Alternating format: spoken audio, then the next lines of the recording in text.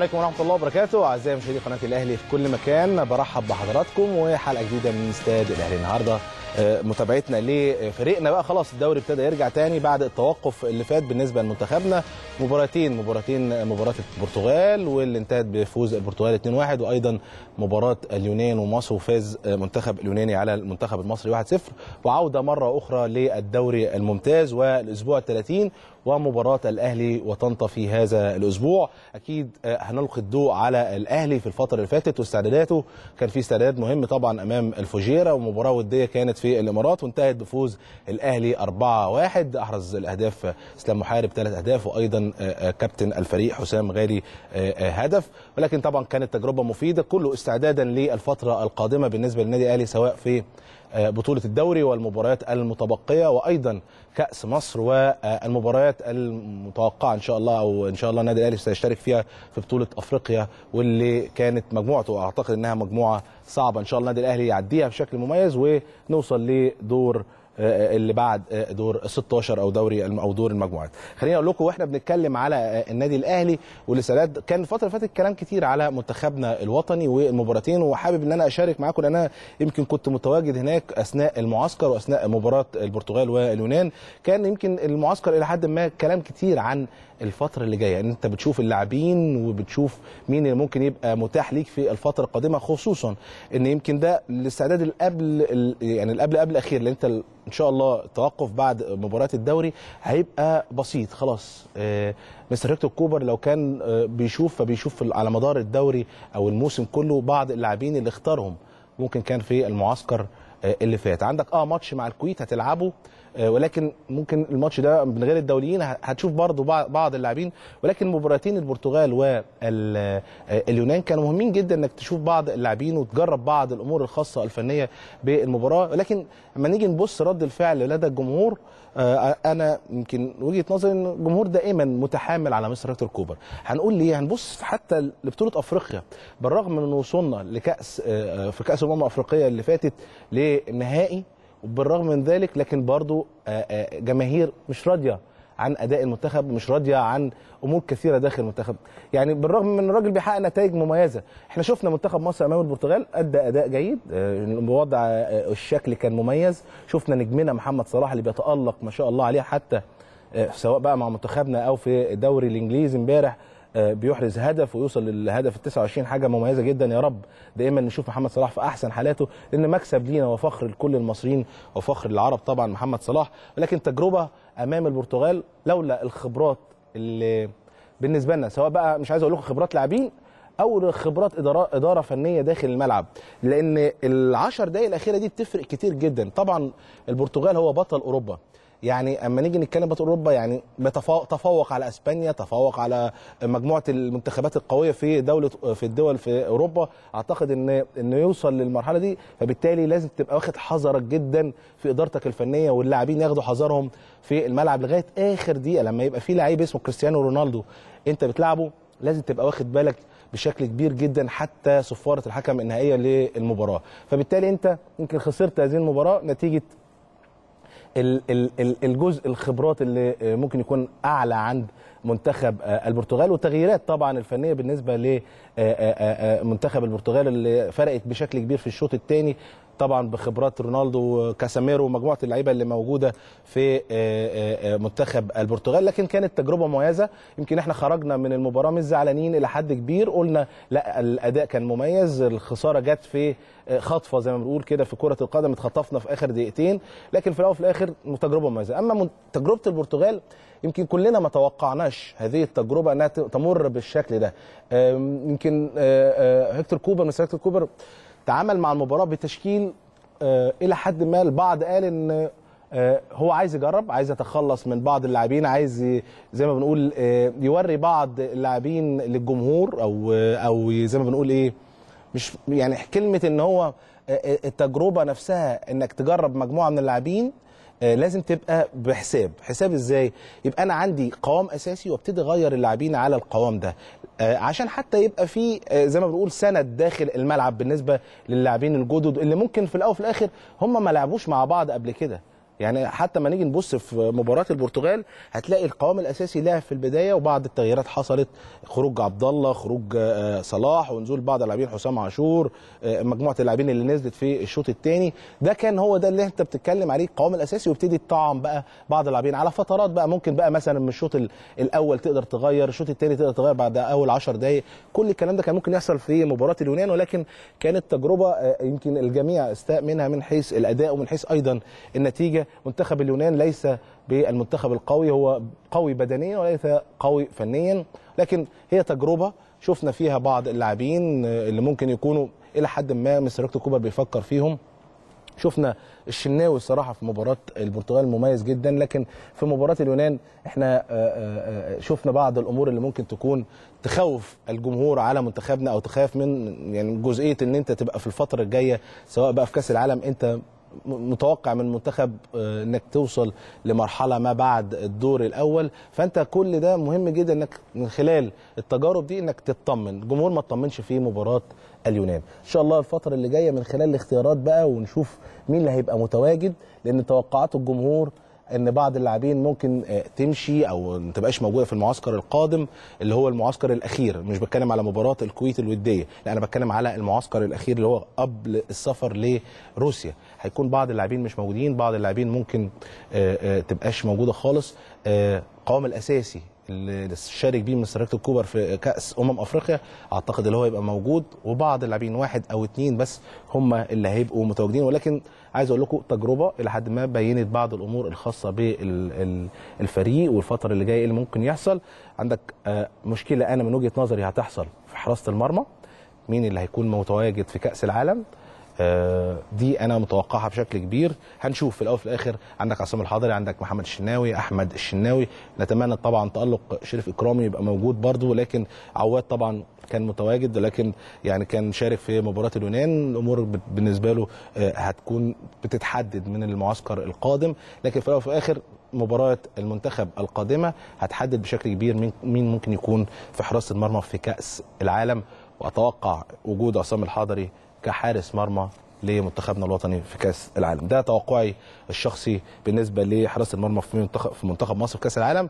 أما باقي المنتخب بقى هتكون زي ما إحنا شايفين القوام الأساسي هو اللي موجود. خليني بقى أروح لكم لمباراه الغد مباراة طنطا والأهلي الأسبوع ال 30 إن شاء الله المباراة هتكون الساعة 8 ونص مساء. النادي الأهلي حسم بطولة الدوري بأسابيع كبيرة. خلاص يعني بنتكلم في ست أسابيع. إن شاء الله الفترة المتبقية الكابتن حسام البدري واللاعبين هي فترة مهمة جدا. أنت عايز تنهي مشوار البطولة بشكل مميز وده اللي إحنا نتمناه من خلال آه، الفترة القادمة. أيضا بطولة كأس مصر أمام الداخلية. أيضا عندك مباراة. ثم أولى مباراتك في آه، آه، بطولة أفريقيا أمام الترجي. مباراة صعبة طبعا. أنت بتجهز لها من دلوقتي. أنت بتفكر في شهر مايو إن شاء الله هتلاعب الترجي هتكون قوتك عاملة إزاي. آه، بعض الأمور الخاصة واللي كان بيتساءل آه، جمهورنا الكبير جمهور النادي الأهلي عن وجود عبد الله السعيد في التدريبات هل هيشارك ولا مش هيشارك؟ كابتن حسام البدري آه، بشكل كبير أعلن عن هذه الجزئية وخلاص. يعني حتة إن اللي لغط في هذه الجزئية إن حسام كابتن حسام البدري قرر وقال إنه صرح إن عبد الله السعيد لن يشارك في جزئية آه، آه، آه، المشاركة في الدوري الفترة اللي جاية أو حتى بطولة أفريقيا بناء على قرار مجلس الإدارة بعرض وتجميد عبد الله السعيد وعرضه للبيع. ده خلاص عشان الناس ما تتكلمش كتير. كابتن حسام البدري الحتة الفنية بقى خلاص مشيت مع الحتة الإدارية وهو ده النادي الأهلي. كمجلس إدارة ما شاء الله بياخد قرارات مميزة أه، استنادا لقيم ومبادئ النادي الأهلي وأيضا الإدارة الفنية عندنا ماشية بالشكل المناسب أيضا واستكمالا للجزء الإداري بقيادة طبعا كابتن محمود الخطيب ومجلس الإدارة بالكامل. خلينا نروح وإحنا بنتكلم على منتخبنا الوطني وجزئية آه، حراسة المرمى معايا على الهاتف كابتن فكري صالح طبعا مدرب منتخبنا الوطني السابق طبعا واحد من ال- يعني المدربين المميزين وطبعا هو آه، عمل شغل كبير جدا مع عصام الحضري عشان يعود بنفس قوته اللي كانت موجودة قبل كده. كابتن فكري مساء الخير على حضرتك. مساء الخير كابتن محمد فاروق شرف. عظيم. تحياتي اكون مع حضرتك والقناة الجميلة الحبيبة إلى قلبي. تحياتي ليك يا كابتن وأكيد أنا متابع حضرتك في جزئية المحاضرات اللي أنت بتلقيها دايما لمدربين حراس المرمى في مصر وأكيد شيء مميز خبراتك الكبيرة لازم طبعا كله ياخد ويستفاد منها بشكل كبير. أكلمك على منتخب مصر وتجربتين الوديتين سواء بقى أمام البرتغال أو اليونان تقييمك لحراسه المرمى في التجربتين دول يا كابتن. والله يا كابتن هو طبعا لازم النقطة الأولانية قبل ما نقول التقييم إن هو طبعا كان في وقت من الأوقات الجهاز الفني عنده ثلاثة قوام المنتخب شريف إكرامي أحمد الشناوي عصام الحق. حصلت ظروف ومحمد الشناوي بدأ يلعب أحمد الشناوي فيه برضه ظروف فظهر عواد فكان لازم الاثنين ينضموا عشان يبقى في خمس حراس مرمى موجودين فالنقطة الأولانية أنا وأنا مسافر أختار ثلاثة من ثلاثة ولا أختار ثلاثة من خمسة؟ فطبعا الأحسن إن أنا أختار ثلاثة من خمسة لأن في شهرين ونص ممكن الظروف تتغير فيها. تمام معايا يا كابتن؟ أنا سامعك كابتن اتفضل اتفضل قول آه. كابتن آه نمرة اثنين لما نيجي على الأداء آه محمد الشناوي خد المباراة الأولى مم. أنا بعتبر إن ال ال إن ال المباراة أداها بامتياز وما أقول درجه امتياز عدا الجون الأول يعني عدا يعني لغاية الدقيقة 90 أنا مديله العلامة الكاملة لأني اولا العلامة الكاملة دي اما حد يديها أو أنا أقول عليها يبقى الراجل كان هادي الأعصاب كان عنده ثبات انفعالي كان عنده بداية هجمات بطريقة آه، آه، جميلة جدا كان عنده آه، قادر إنه يقطع جميع الكور العرضية باقتدار جميع المواقف اللي اتشاطت عليه قدر يتعامل معاها باداء جيد جدا. حتى الكوره الصاروخية اللي اتشاطت ثاني تايم وخدها على مرحلتين. صحيح. اللي هي طلعت فوق وكانت محتاجة رد فعل جامد جدا. فعايز أقول إن الأداء بتاعه رغم إن دي أول مباراة دولية في فترة كبيرة إنما حسسنا إن هو آه، ما عندوش الحتة دي ما عندوش الرهبة دي. جميل. بل بالعكس كان الأداء فيها. لما نيجي أحلل الجون اللي اللي دخل اللي هو الجون الأولاني وهي دي آه، غصب عنه لأن بتبقى محتاجة خبرات والخبرات دي يعني إيه؟ يعني آه، بتبقى موجودة آه، مواقف متخزنة بتطلع في المباراة هو كان واقف في التمركز ساعة ما الكورة اتعملت ككره عالية وقبل ما يحط الهيدرز كان واقف في تمركز سليم جميل يا كابتن صحيح مم. بدأ يتحرك لغاية خط الظهر بظهره لورا فبقى في موقف تمركز غير صحيح وبالتالي عمل محاوله الصد للكورة فدخلت الكورة جول لو هو كان في التمركز الصحيح الأولاني كانت الكورة هتطلع بره. ولكن طبعا زي ما أنا قلت أداء آه، العلامة الكاملة عدا الجون الأول. الجون الثاني لا يسأل عنه خالص. آه، خط الظهر هو اللي يسأل عنه. آه، فده ال- بالنسبة للتحليل لأداء محمد طيب بالنسبة للمباراة الثانية يا كابتن ومباراة اليونان وعواد نعم يا فندم. المباراة الثانية المباراه الثانية عواد يا كابتن. آه آه، أنا بس الأول لازم أدي حق الكابتن طارق سليمان عشان أنا أما يبقى آه، آه، يعني موجود محمد الشناوي بهذا المستوى مش هنقول يعني في ثلاث أربع أيام لا. لأن ما ننساش إن محمد الشناوي كان طبعا. فترة طويلة جدا نص الموسم مش موجود ما بيلعبش. مظبوط مظبوط. فلازم أشيد بالكابتن طارق سليمان والدور اللي اللي, اللي قدر يوصل محمد الشناوي بالصورة دي. لما صحيح. نمسك محمد عواد محمد عواد اولا آه، لعب في ظروف مش طبيعية. الظروف المش طبيعية إن التيم آه، ما كانش القوام الأساسي آه، بيلعب. ده واحد. اتنين في آه، آه، مجموعة لاعبين بتلعب لأول مرة مع بعض. فده طبعا زائد ثلاثة كان في ضغط عصبي كتير جدا على عواد. جه نتيجة هيلعب عواد. لا مش هيلعب. آه، الميديا كانت آه، آه، دخلت في مشاكل آه، مع حاجات فرعية خارجية. ده خلى في ضغط عصبي على عواد. عشان كده حتى عواد المواقف اللي جات له اتعامل معاه. جون طبعا غلطه بنسبة 100% لأن هو التمركز بتاعه كان غير سليم. الهدف اللي هو دخل فينا فينا يعني كان التمركز بتاعه راح خطوتين قريب من العارضه ال- ال- ال- القريبة لو هو كان الخطوتين دول ورا كان قدر يتعامل مع طيب. الهدف إد- إديني. تقييم لعواد في المباراة الثانية يا كابتن بعد إذن حضرتك لا أنا ادي تقييم عواد إن هو بالظروف اللي أنا بحكيها يعتبر آه، بالهدف اللي دخل يعني جيد جدا لأن الضغوط العصبية الرهيبة اللي كانت موجودة. وإن الفريق ال- ما كانش موجود بالقوام الأساسي بيلعب. خلي بالك إن أنا المفروض أما يبقى حارس مرمى بيلعب لأول مرة. مع منتخب المفروض المنتخب بيساعده في هذا الأداء. فأنا عشان كده أكيد طبعا. وكله بيساعد بعض يا كابتن. كله بيساعد بعض من أول حراس المرمى حتى يعني راس حربة يعني. أكيد. معلش أصل أنا في الملعب ف...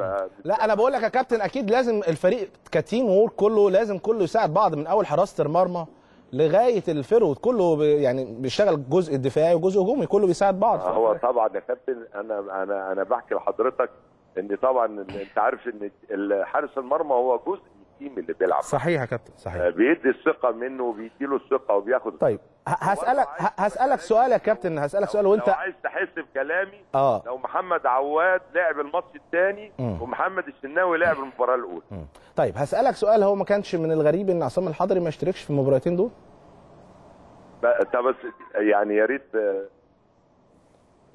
كابتن فكري. ألو؟ كابتن فكري سامعني كده؟ طيب يعني قبل ما كابتن فكري يرجع لنا تاني زي ما بقول لكم كده إن حتة حراسة المرمى كلام كتير هيبقى عليها خصوصا إن عصام الحضري ال- يمكن الحارس الأساسي لمنتخبنا في بطولة أفريقيا لم يشترك في هذه آه، أو هاتان المباراتين فبالتالي آه، الأمور بالنسبة له ممكن التجارب اللي جاية يبقى موجود عصام الحضري وزي ما بقول لكم آه، آه، توقعي الشخصي أنا كمحمد فاروق ورؤيتي للمنتخب ورؤيتي لل- لل- للمنتخب الفترة القادمة إن عصام الحضري لو مش هيبقى فيه يعني سليم 100% في كأس العالم الفترة القادمة هيكون متواجد ك حارس مرمى منتخبنا كلاعب أساسي. ده من وجهة نظري الشخصية.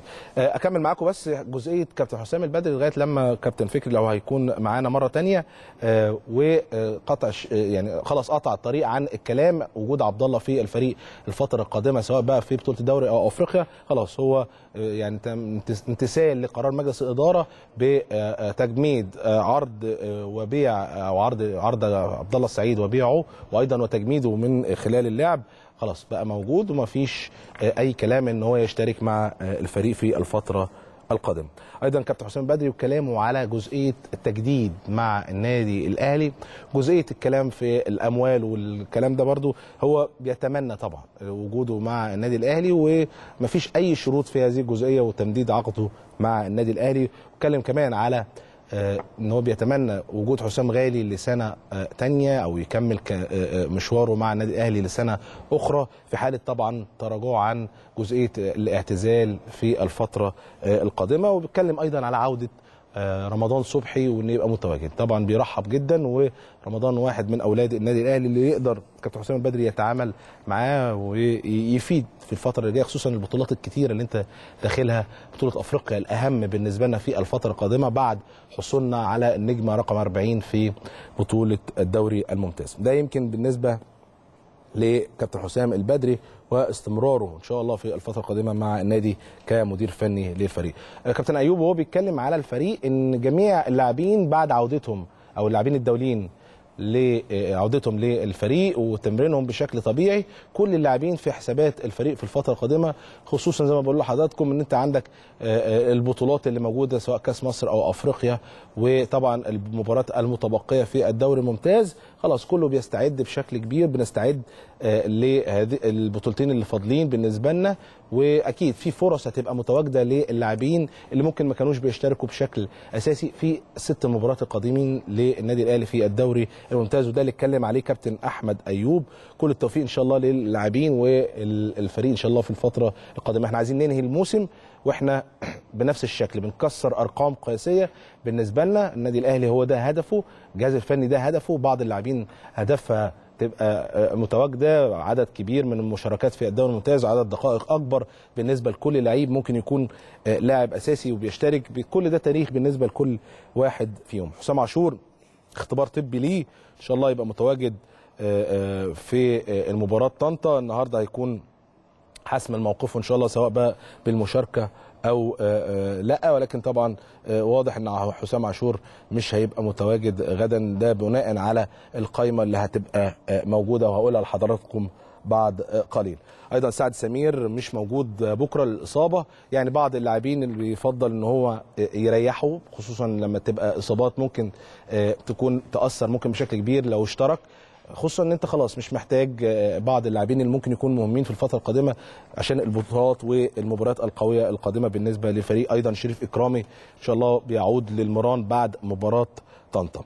أما آه، علي معلول واللي اتصاب مع آه، منتخب بلاده واللي شارك أمام منتخب كوستاريكا في مباراة ودية أيضا إن شاء الله يعني ربنا يعني يشفيه برضو واحد من اللاعبين المميزين اتصاب في الكاحل بالنسبة ل في مباراته أمام كوستاريكا ونتمنى طبعا عودته ومشاركته بشكل طبيعي مع النادي الأهلي. لكن طبعا آه، آه، علي معلول وسعد وكل اللاعبين المميزين دائما اللي بيبقى ليهم آه، البصمة داخل الفريق يبقوا متواجدين زي ما بقول لكم. مهم جدا إن إحنا نختم الموسم بشكل جيد. مهم جدا إن إنت تخش مباراة كأس مصر أمام الداخلية وإنت هدفك طبعا ده مباراة مباراة كأس مصر. فبالتالي إنت لازم تكسب هذه المباراة فلازم بالقوة الضاربة بتاعتك في كل مكان سواء بقى في ال back left في حراسة المرمى في في third back في كل اللاعبين المتواجدين أيضا بالنسبة للمباريات القادمة.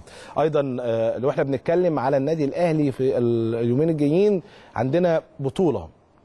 النادي الأهلي امتدادا لدوره الوطني في مصر. دوره الوطني دائما النادي الأهلي آه، آه، موجود باستمرار فيها. في بطولة إن شاء الله هينظمها النادي الأهلي من الفترة من يوم 13 إبريل. هيكون متواجد آه، بطولة الأهلي اسمها بطولة الأهلي للبعثات الدبلوماسية. هيكون كل ال- البعثات الدبلوماسية متواجدة في النادي الأهلي. الشيخ زايد ودي بطولة مجمعة. ده بناء على زي ما بقول لكم النادي الأهلي وعلاقاته المميزة بجميع ال- البلاد اللي موجودة اللي هتكون تقريبا آه، 24 سفارة. طبعا البعثات الدبلوماسيه ممثلة السفارات اللي متواجده هنا. هيكون متواجد يوم الأربعاء إن شاء الله. القرعة اللي هتبقى هتتعمل إن شاء الله في مقر النادي الأهلي الجزيرة الساعة 12 الظهر.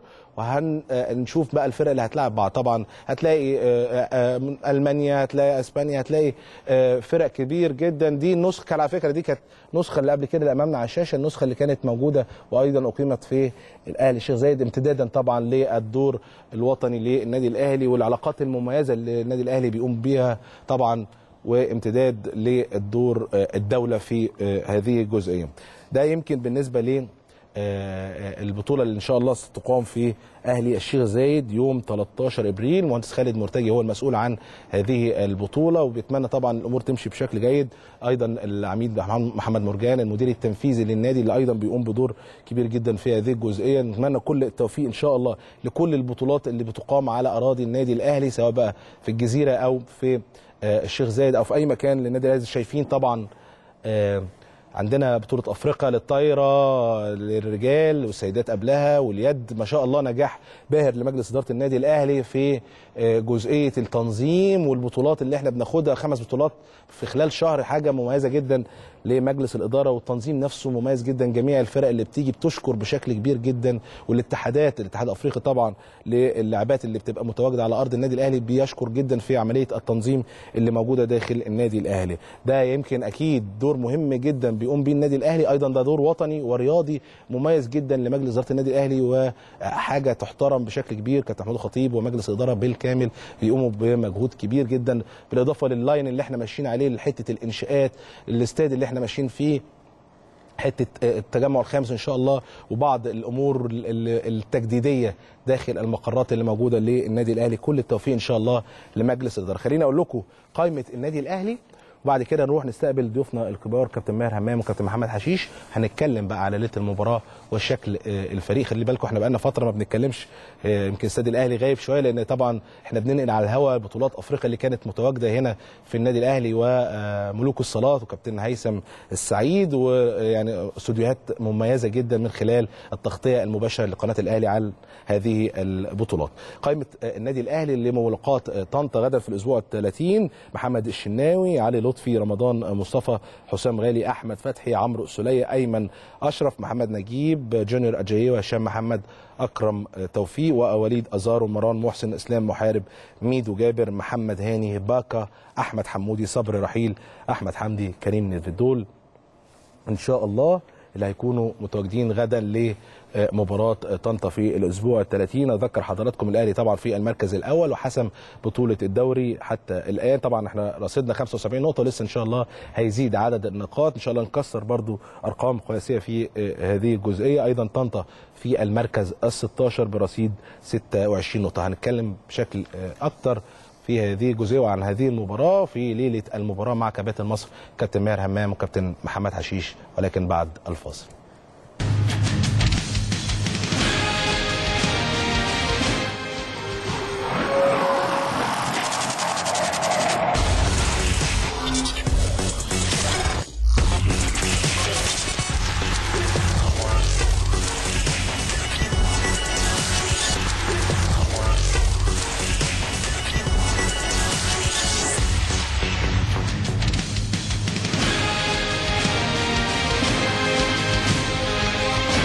لحضراتكم مرة تانية وكلامنا عن ليلة المباراة الخاصة طبعا بمباراة الأهلي وطنطا غدا إن شاء الله اللي هتكون الساعة 8 ونص مساء. معايا في الاستوديو طبعا نجوم مصر وكباتن مصر كابتن ماهر همام نجم مصر ونجم النادي الأهلي كابتن ماهر برحب أهلا كابتن فاروق. منور كابتن. أهلا بيك حبيبي وحشنا والله. أنت كمان كابتن أيضا كابتن محمد حشيش نجم مصر ونجم النادي الأهلي. كابتن محمد برحب بيك. روق ازيك نور يا كابتن. الله يخليك. نوري نورك. أه نتكلم على المباراة على طول ولا أنا عايز آخد جزئية كده عن منتخبنا الوطني؟ إحنا يمكن الأحداث هنا كانت في قناة الأهلي كانت على بطولة أفريقيا الفترة اللي فاتت فالكلام في الكورة ما كانش كتير.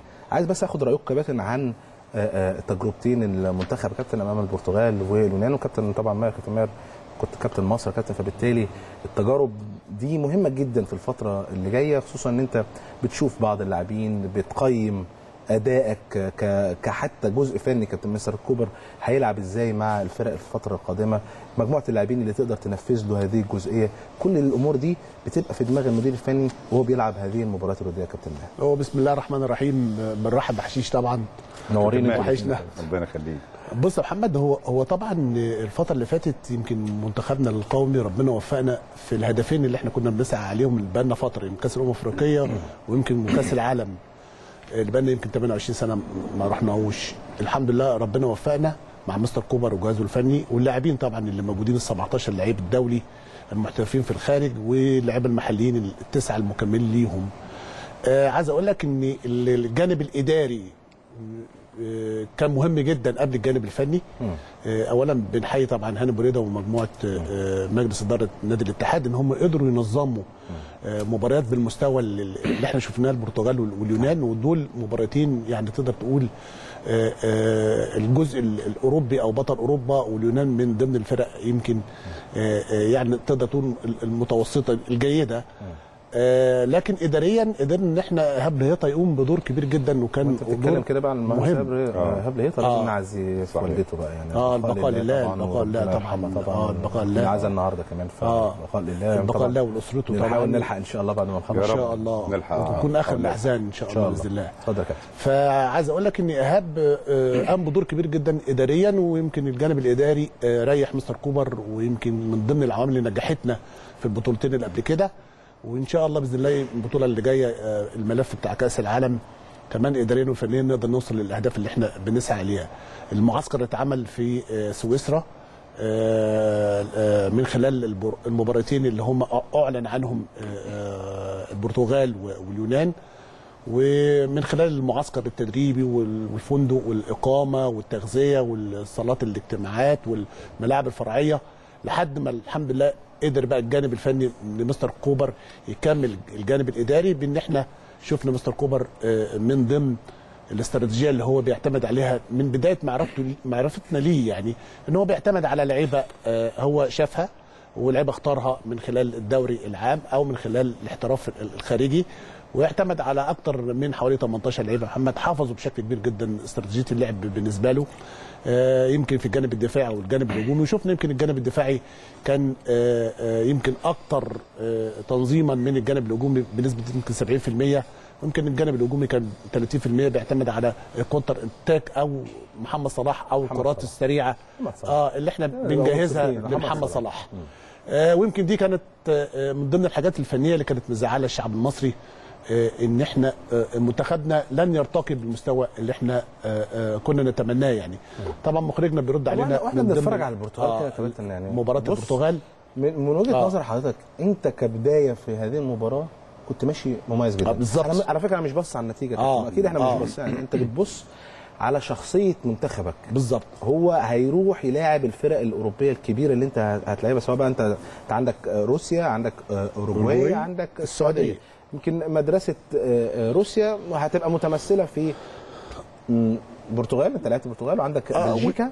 آه واليونان كمان شكل. اليونان في أدائهم يعني أنا من وجهة نظري آه. ان كان لازم تلعب مباراة من شرق آه، أوروبا آه. يعني تبقى لازم. حتة آه. قريبة من المنتخب الروسي شوية كده لكن طبعا بالظبط. المتاح ليك دلوقتي هو الجزئية دي اتفضل يا كابتن هو والاختلاف بقى اللي إحنا شفناه اللي واضح يمكن زي ما أنت قلت يا محمد في مباراة البرتغال كان في تنظيم دفاعي على اعلى مستوى وتنظيم هجومي وشفنا الانتشار اللي كان موجود عليه لعيبة منتخب مصر حتى إحنا كمان آه، بيني وبينك تعاطفنا مع منتخبنا ولحد الدقيقة 90 إحنا كنا تقدر تقول كانت ال ال يعني إحنا متفوقين بهدف صلاح اللي هو الهدف الجملة اللي اتعمل بين عبد الله السعيد وبين محمد صلاح. محمد صلاح قدر يسجل هدف من أجمل الأهداف اللي ممكن آه، نشوفها. آه، حتى الانتشار يعني مخرجنا جايب لنا بص الانتشار حتى في الهجمة في الهجمة أو الكرة اللي بنهاجم من خلالها عندك واحد اثنين ثلاثة أربعة خمسة انتشار آه، طولي وعرض يا محمد بشكل كبير جدا داخل ال 18 وحوالين ال 18 وبعدين طبعا الجملة المميزة آه، اللي بين عبد الله وبين آه، محمد صلاح. وإحنا قلنا إن إن الاثنين دول بالذات بيبقى عندهم نوع من ال- التفاهم بشكل كبير في يمكن معظم أهداف مصر اللي اتحققت صلاح جاب لنا جول آه، بشكل جيد جدا. آه، لكن يا محمد آه، عايز أقول لك إنك أنت في آخر خمس دقائق آه، مع الأسف يعني إحنا خسرنا بهدفين وده يمكن اللي زعل آه، آه، يعني الجمهور المصري والشعب المصري كنا نتمنى إن إحنا نكسب آه، آه، بطل أوروبا آه، الممثل في آه، فريق البرتغال. آه، لكن عايز أقول لك إن الخمس دقائق دول ال- ال- الآخر آه، كان فيهم عدم تنظيم دفاعي بالنسبة لمنتخب مصر عدم رقابه رقابة آه، سرحان آه، عدم ميلان عمل آه، آه، عدم تغطية. في الحقيقة الناحيه الثانية بهدفين. برضه هو هو غير بشكل مميز. يعني كواريزما مثلا في يعني تغييرته برضه حتة التنشيط. هو راجل تعامل مع المباراة في الشوط الثاني المدير الفني للمنتخب البرتغال بشكل مميز. يعني نزل اثنين لعيبة منهم كواريزما. يعني طرفين غيروا شكل المباراة. كابتن ماهر خبراتك يا كابتن حشيش فرقت في العشر دقايق اللي بيتكلم عليهم كابتن ماهر ده؟ بص إحنا لازم التغييرات حتى اللي إحنا اللي أنا بقول إحنا يعني. لازم أقول برضو في ال- في الأول إحنا طبعا استفدنا من التجربتين. تجربتين آه، آه، كويسين بالنسبة لمنتخب مصر كبداية. يعني أنا أنا أنا في رأيي أو بتكلم كجمهور عادي آه، لا آه، منتخب آه، آه، كان ند. يعني فرقة لها شكل آه، صحيح كلنا تأكدنا من خلال المباراتين إن الأساس هو محمد صلاح عشان برضو ما نروحش كده ولا كده الأساس محمد صلاح. شفنا تأثيره القوي جدا جدا في ماتش آه، آه، اليونان. آه، فرقة أقل طبعا من بطل أوروبا من البرتغال. آه، ما رحناش على الجول خالص. آه، في آه، أسباب تانية طبعا التغييرات الكتيرة اللي اتعملت وهو كان لازم بصراحة يعمل التغييرات دي في المباريات التانية اللي أنا أتمنى إن ما يبقاش في تغييرات بعد كده بقى. يعني خلاص ما فيش وقت ليه؟ مفيش وقت. إنه يشوف بقى خلاص لازم يلعب بقى بالفرقة الأساسية بالتشكيل الأساسي بأكتر من طريقة. طيب يعني أكتر من سريعا بس يا سيناريو. كابتن ماهر الأستاذ محمد عبد الوافي طبعا عضو مجلس اتحاد الكرة. تحياتي ليك أستاذ محمد. ألو. تحياتي لحضرتك ويعني بقاء الله في والدة المهندس إيهاب لهيطة. الله يخليك يا تحياتنا لحضرتك وأكيد وإحنا بنتكلم على منتخبنا. يعني أكيد يعني وجهة نظر حضرتك في المباراة المباراتين اللي فاتوا وهذه التجربتين المهمين بالنسبة لمنتخبنا والفترة القادمة بالنسبة لمشوار منتخبنا الوطني للمباريات الودية وأيضا لمشوار روسيا إن شاء الله. آه، كابتن محمد طبعا التجربة مفيدة جدا. آه، للعلم ان كان أول تجمع آه، المنتخب الأولمبي كان أول مرة يتجمعوا فيها آه، كان آه، كان في السعودية.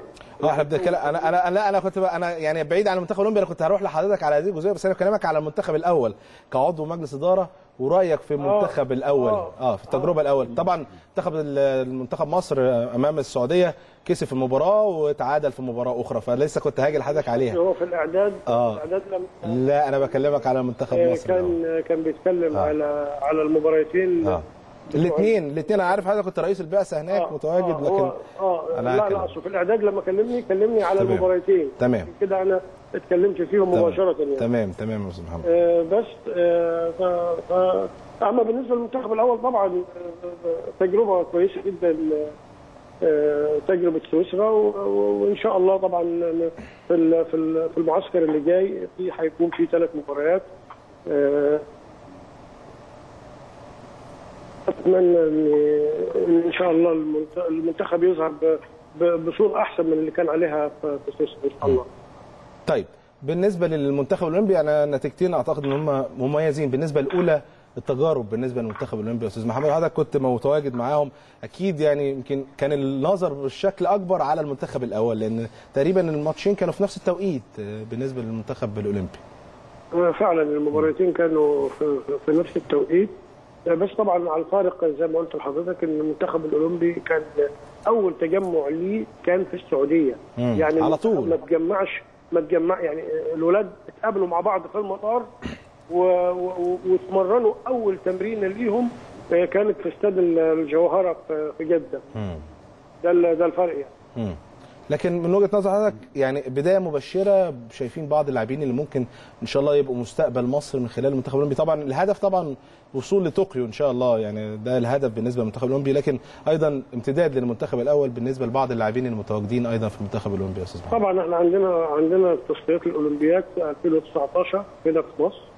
آه، مؤهل ال- ال- الأولمبياد طوكيو في 2000 و 2020 آه، طبعا امتداد للمنتخب الأول وعندنا عندنا خامات مبشرة إن شاء الله. حتى إحنا في في ال- في المحاضرة آه، لما كنت أقعد مع الأولاد وكنت أقول لهم إن ان شاء الله آه، يعني هيكون ال- ال- القوام ال- الأساسي إن شاء الله في كأس العالم 2022 و2026 هيكون منهم إن شاء الله.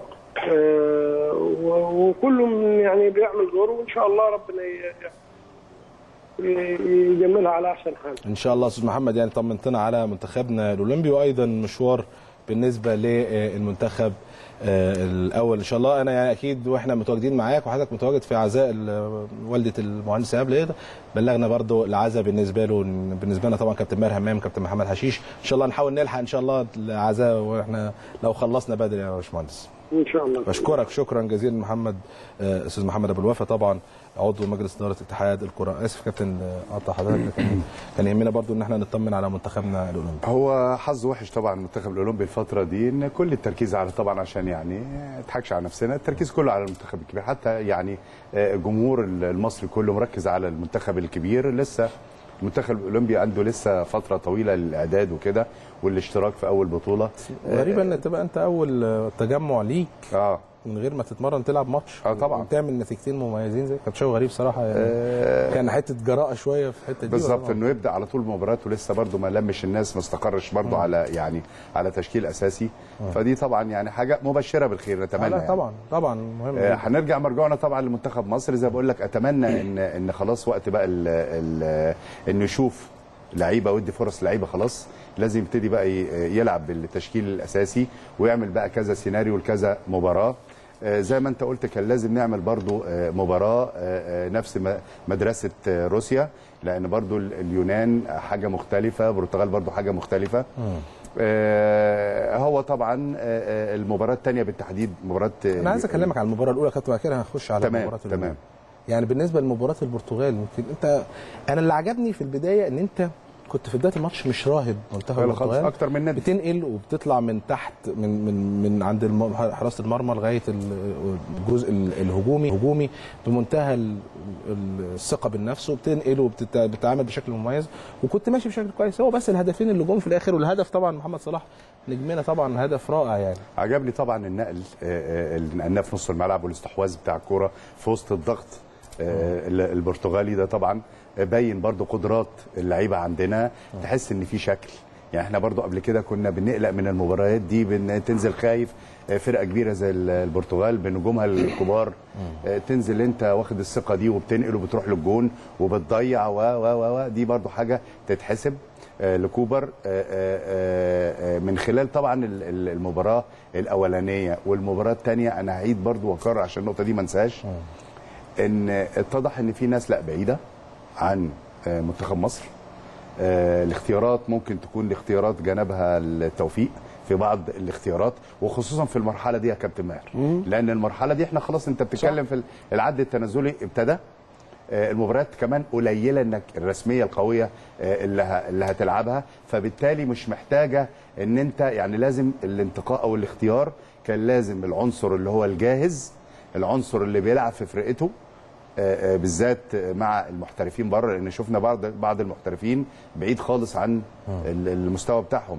هل أنت آه، هتدي آه، فرصة حتى لو مش جاهز إن أنت تكمل بيه على اقتناع كامل وشخصي باللعيب ده بغض النظر عن جاهزيته ولا هتدي فرصة لل- لل- للجاهز واللي واقف على رجليه خلال الفترة اللي جاية دي؟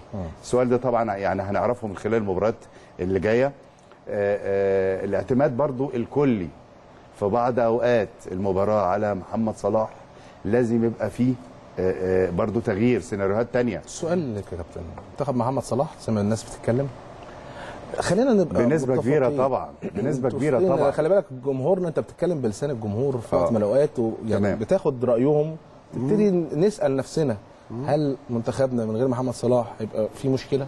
لا قدر الله يعني طبعا وارد ده لاعب بص يا فاروق تحصل مشكله قبل طبعا دخول وارد كاس طبعا. عالم وانت بتلعب أول مباراة بعد الشر عليه يا رب طبعا واحد من اللاعبين إنه مشرفنا آه ولكن يمكن البرتغال كمان كان شايف كريستيانو ما لعبش يمكن أو لعب أو خرج في, في الماتش الثاني مع. هولندا المباراة الثانية الحدية حاجة يا كابتن ماهر ما جابوش جول برضه. ما إحنا إحنا في دلوقتي برضه فرق كتيرة. جدا جدا زي آه. الأرجنتين بالظبط. آه، ميسي ميسي مش موجود. برشلونة آه. بلاعيبتها معتمدة اعتماد كبير على على ميسي. ميسي. خرج ميسي من المباراة المباراة الأخيرة بتاعتهم. بالظبط. آه، آه، من غير ميسي كانوا مفيش. حاجة خالص كان ممكن يتغلبوا اثنين وثلاثه نزل ميسي غير ال- القصة.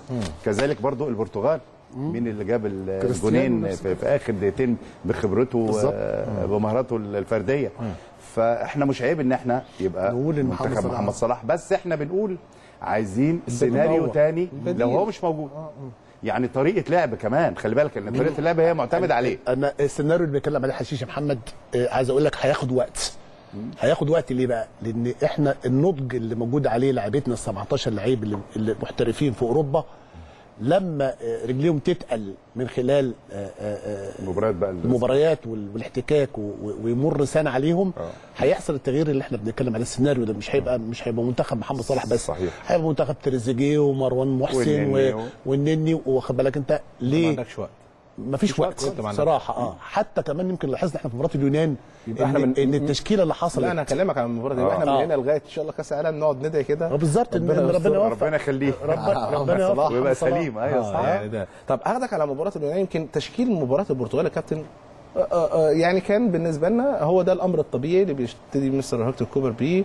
القوام الأساسي موجود آه، بعض التغييرات اللي حصلت آه، عمرو وردة آه، مروان محسن آه، آه، آه، حسام عاشور آه، نزل مجموعة اللعيبة أو ال- ال- اللي نزلوا الشوط الثاني تغييرات كان بيشوف بعض اللاعبين لكن المفاجأة بالنسبة لبعض ال- الناس والجمهور في مباراة اليونان إن تقريبا طبعا الهدف كريستيانو طبعا في الشوط في آخر المباراة وهو ينفع يعني الهدف ده. كده بالشكل ده طبعا هي بعد ماهر؟ الأخطاء لا على طبعا. يعني طبعا كابتن ماهر. آه يعني لازم معاك تتكلمنا على الخطأ ده قبل ما نروح لليونان بيلعبوا بيلعبوا في الحتة على دي فكرة أنا كنت مع أحمد حجازي بعد ال- ال- الماتش وقال لي أنا آسف جدا ذوق جدا جميل وهو عارف إن هو آه، آه، الحتة دي فلتت منه حتة آه. التركيز راحت منه في اللحظة دي. بس مع كريستيانو التركيز آه لو راح لحظة هقول لك حاجة هقول لك حاجة الموضوع. محمد هقول لك حاجة.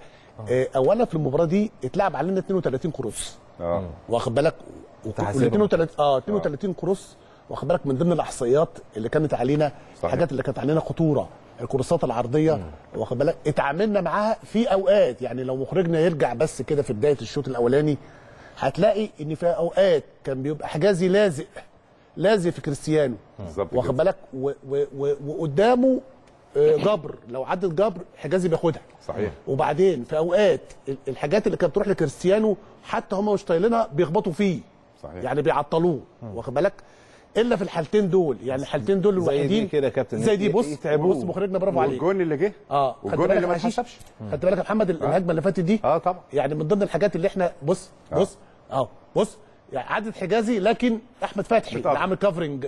واخد بالك خبط خبط دخل يعني فيه يعني. عطلناه عطل- بالظبط. وده بص اتنين اهم. اتنين في لعبة. واحدة صحيح. عكس الكورتين اللي دخلوا فينا آه. آه. نمرة اتنين الكورتين اللي دخلوا فينا لما نبدأ نحللهم هنلاقي إن بداية الكروس من عند أحمد فتحي مع الأسف مفيش آه، آه، آه، ضغط. حائط صد أو ضغط. عليه صحيح. دي دي البداية براحته خالص. آه النقطة الثانية زي ما قلنا المشهد اللي إحنا شفناه اتنين بيخبطوا في واحد ما كانتش موجودة كريستيانو في وسط حجازي ومن وراه عبد الشافي كان المفروض عبد الشافي ياخد دور أحمد فتحي في ال covering أو الدخول لجوه واخد بالك يا محمد يعني أنت دلوقتي بيبقى التغطية الفردية رقم واحد إن أنا أمنع. التغطية الجماعية إن أنا يبقى حجازي. واقف صح. واقف صح يبقى شايفه شايف الكورة واخد بالك؟ وبعدين كمان مين ال- اللي مغطي حجازي؟ اللي هو ال back العكسي تغطيه ال- الميلان وتغطيه الخط. فكمان عبد الشافي يمكن في الشوط الأولاني آه بص يعني مخرج جابها لنا أهو. نمرة واحد أحمد فتحي لازم يضغط من هناك يمنع مسافة ال cross كبيرة جدا، آه الراجل مسافة كبيرة. جدا ساب الراجل يعمل cross half cross ده أخطر بقى من العرضي أنت يعني عارف ده أخطر يعني هي دي النقطة اللي خلي. بالك ودي الأخطاء كابتن آه. أنت لازم تاخد بالك آه،. بص. أنت عارف إن في ناس مميزة آه. بس في ال آه 18 حجازي حجازي لازم ياخد خطوتين لورا عايز كريستيانو موجود لازم, لازم ياخد خطوتين عارف لورا ليه يا كابتن مهاب؟ عشان يقدر يحطه هو كريستيانو. سرقه راح معاه شوية كده بص آه. راح مأخر آه. التأخيرة دي أنا بقى لازم وهو بص للكورة برضه بالظبط ما بصش لوراه حجازي بص للكورة ومش يعني شايف كريستيانو خلاص. النقطة الثانية بص بص عبد الشافي لازم اخد الخطوتين اللي كانت في الشوط الاولاني. اخد الخطوتين. آه. بتاعت أحمد فتحي. عبد الشافي كان لازم ياخد الكفرنج الخطوتين. هو حجازي كان لازم يرجع يرجع بظهره حشيش طبعا. أكتر من كده عشان يقدر يلمسها بس. لو لمسها طبعا أفسد الهجمة على ده طبعا الهدف الثاني ال suspense بقى اللي حصل وعشان بس إحنا المباراة دي الناس كانت واخده يعني ما كانتش عارفة إن هيتطبق حتة الحكم الفيديو آه. إن الاتحاد الدولي في, في روسيا إن شاء الله هيبقى الحكم هيتطبق. الفيديو موجود فكان بالتالي كان طلب من. اللجنة المنظمة إن يبقى فيه حتة الحكم الفيديو suspense صراحة وإحنا قاعدين في الاستاد. انت منتظر وال... آه، وال... وإيه اللي بيحصل والدنيا. كانت أول مرة صراحة الواحد يشوف حاجة زي كده وتتحسب على منتخب مصر. خصوصا إن إحنا ما واجهناش قبل كده. ف... آه حاجة جميلة طبعا. بص بص يمكن الكرة الثابتة الثانية مع الأسف سايبينه براحته. يعني إحنا كنا شفنا الشوط الأولاني بيخبطوا فيه. صحيح. صحيح. واحد بيخبط فيه واحد قدام وواحد آه، آه، في حاجة بيمنع. كمان يا كابتن ماهر. آه. يعني دايما كريستيانو بيعملها فاروق. قبل ما الكرة تتلعب وهي ثابتة بتتلعب فاول مثلا من الجناب. بيبقى في ال offside هو. وقبل ما تتلعب يعدل بيروح- نفسه. بي- بيعدل نفسه. دي بتسرق المدافعين. بالظبط. لازم أبص يعني بيبقى- في ظهرك أنت خلاص ده في ال offside هو بيروح طالع الحتة دي واخد بالك إزاي؟ وهي بتتلعب. لو عدنا الجون هتبقى نفس القصة. وخطف الكورة. آه، ولازم برضك إحنا الماتشات دي- الفاول الفاول الأولاني ال- الجول الثاني آه. لو نلاحظ إن اللي واقف حيطة واحد بس بص واحد بس. بص، آه. لازم يبقوا اثنين كمان عشان أقدر أمنع الحاجات دي. الحاجات دي في منتهى الصعوبة. وخصوصا في نفس الوقت لازم يحصل فيها تركيز. الفرق يا فاروق اللي عندها ناس مميزة بضربات الرأس زي مثلا ما هنقابل سواريز برضو مميز بالكور دي. مفيش حاجة اسمها ال back ين اللي على الطرف أو ايا كان اللعيبة اللي على الطرف بيحلق. آه آه ما فيهاش بص- تحليل بص- لأن ال cross بص. هيتعمل على الأقل يطلع ال- cross مش مظبوط وبعدين يعني النقطة الثانية مش حقيقي يمنعه. كمان يا محمد عايز أقول لك حاجة، أنت دلوقتي آه، خد بالك آه، الفاول بيتعمل فأنت لازم يبقى في اتنين حيطة واقفة قدام صحيح، الكورة صحيح. ومقللين العشر ياردات عشان يمنع عشان يمنع. النقطة الثانية الراجل اللي عامل covering بقى ورا واخد بالك لازم يبقى عند. ضربة الجزاء الليبرو صحيح. اللي هو هيقابل هيغطي الحاجة ال- صحيح. الجاية على على السقطة بقى. آه الحيز الأولاني اللي هتعدي. بالظبط. وبعد كده يبقى التغطية بقى في الرقابة زي ما إحنا شايفين جبر و- و- و- و- و- و- وحجازي لازم يبقى كتف في خصوصا كتفه يا كابتن ماهر حاجة إحنا اطوال ما شاء الله اذا كان علي جبر ولا درجة 32 cross. حشيش آه. حجازي، جبر. ما شاء الله أكتر من 30 cross واخد بالك إحنا أيوة. بالظبط. ما عدا طبعا يمكن الجولين اللي دخلوا فينا طيب. كان بيمثلوا أخوك وفي المباراة. برضه في الحتة دي برضه هك... يعني هكملها. طبعا بغض النظر عن النتائج هي المباريات دي آه، آه، إن إحنا نتعلم منها دروس. على فكرة إن الماتشات الجمهور طالع يعني آه طبعا. عشان أنت شكلك كويس. آه، كويس. بس إحنا برضو لازم نتعلم إن في الف- الماتشات الكبيرة مع اللعيبة المميزة اللي هي أحسن لعيبة في العالم الجون بيجي في ثانية. في كورة واحدة ممكن يغير النتيجه أنت شفت الجونين؟ في إيه دقيقتين وفي نقطة الدقيقه كمان 92 و93 في ولا نقطة كمان 94 يا محمد صحيح. أنا عايز أقول لك حاجة التغييرات اللي حصلت مع الأسف ما كانتش إيجابية بالنسبة آه، لنا. قللت طبعا كل ما هي خبرة ثلاثة هي حتة الإدارة الفنية خلاص. هي برضه في آه، الآخر كده آه، مهم جدا. الثبات في الحاجات اللي بالشكل ده يا محمد لانك انت في آخر خمس دقائق تقدر تقدر من خلال التمرير تقدر تضيع, الوقت التمرير ده هيعمله مين بقى المحطات اللي موجود موجودة عندك عبد الله السعيد تمام. مش موجود تمام. فحصل التمرير قل صحيح. صلاح محطة من ضمن المحطات مش موجود قل صحيح. التمرير. تريزيجيه مش موجود قل التمرير واخد بالك آه مع مع الأسف كمان طلع طارق طارق حامد طيب. كان عامل آه آه توازن بشكل كبير جدا في وبعدين انت كمان برضو الراجل اللي قاعد بره انت عايز إيه من الماتش خلاص انت راجل كسبان. كسبان. بالظبط. المباراه خلاص ده انت مش. بتلعب فاضل ربع ساعة فكرة و10 دقايق ده في ناس مش واخده بالها إن ده ده أجندة دولية. فالفوز على البرتغال يخليك طبعاً بالظبط. جزئية ترتيب. الترتيب. آه. الترتيب مهم. وبرضه انت كونك يعني طبعا إحنا بنقول كله كله كويس بس إحنا كونك ان انت هتكسب البرتغال في أول مباراة آه، تجريبية ليك قبل كأس العالم كنت هت- كانت هترفع المعنويات وحتة إدارة. فنية كمان يا حشيش طول ما أنا طول ما أنا كسبان طول ما أنا حافظ مظبوط. مش قادر أغطي مظبوط. الهدف صحيح. يبقى احافظ على الثلاث خطوط التغييرات تبقى في حدود قليلة جدا صحيح، بالنسبة لي صحيح. عشان أقدر حافظ على أحافظ قوام النتيجة الفرق. دي طبعاً. حافظ على القوام اللي بدأت بيه يعني صحيح طيب صحيح. إيه- جزئية اليونان قبل ما نخلصها دي أو نطلع بقى على ماتش الأهلي آه. بتاع بكرة إن شاء الله والكلام عليه مباراة اليونان كانت كله اتفاجئ بالتشكيل طبعا. يعني هي وجهة نظر طبعا الجهاز الفني وحقه إن هو يعمل ما يشاء عشان تمام. يجرب اللاعبين خصوصا إن أنت الفترة اللي جاية خلاص آه، زي ما بتتكلموا كباتن الوقت قصير عايز أشوف كل اللاعبين آه، على أساس ان أنا الماتش اللي جاي أو الماتشين اللي جايين خلاص أنا بالنسبة لي هو ده اللي هقفل عليهم وابتدي اشتغل وتجهيزاتي لمباراه روسيا. في آه، آه، ملحوظة مهمة جدا. آه. أول حاجة هنتكلم فيها في مباراة اليونان سيبك من التغييرات الكتيرة اللي طبعا أضافها عشان يشوف أكبر عدد. إنما أنت واضح إن أنت مقتنع ببعض اللعيبة إنها لازم تبقى موجودة سواء في مركزه أو مش في مركزه. زي عمر جابر. انت ابتديت بيه بتلعب ناحية الشمال. طب إيه الداعي؟ هل لازم يكون موجود وخلاص؟ عمر من اللعيبة ال- ال- الكويسة جدا جدا آه، سنه صغير وعنده طاقة آه، كبيرة جدا لازم يبقى موجود في الفرقة.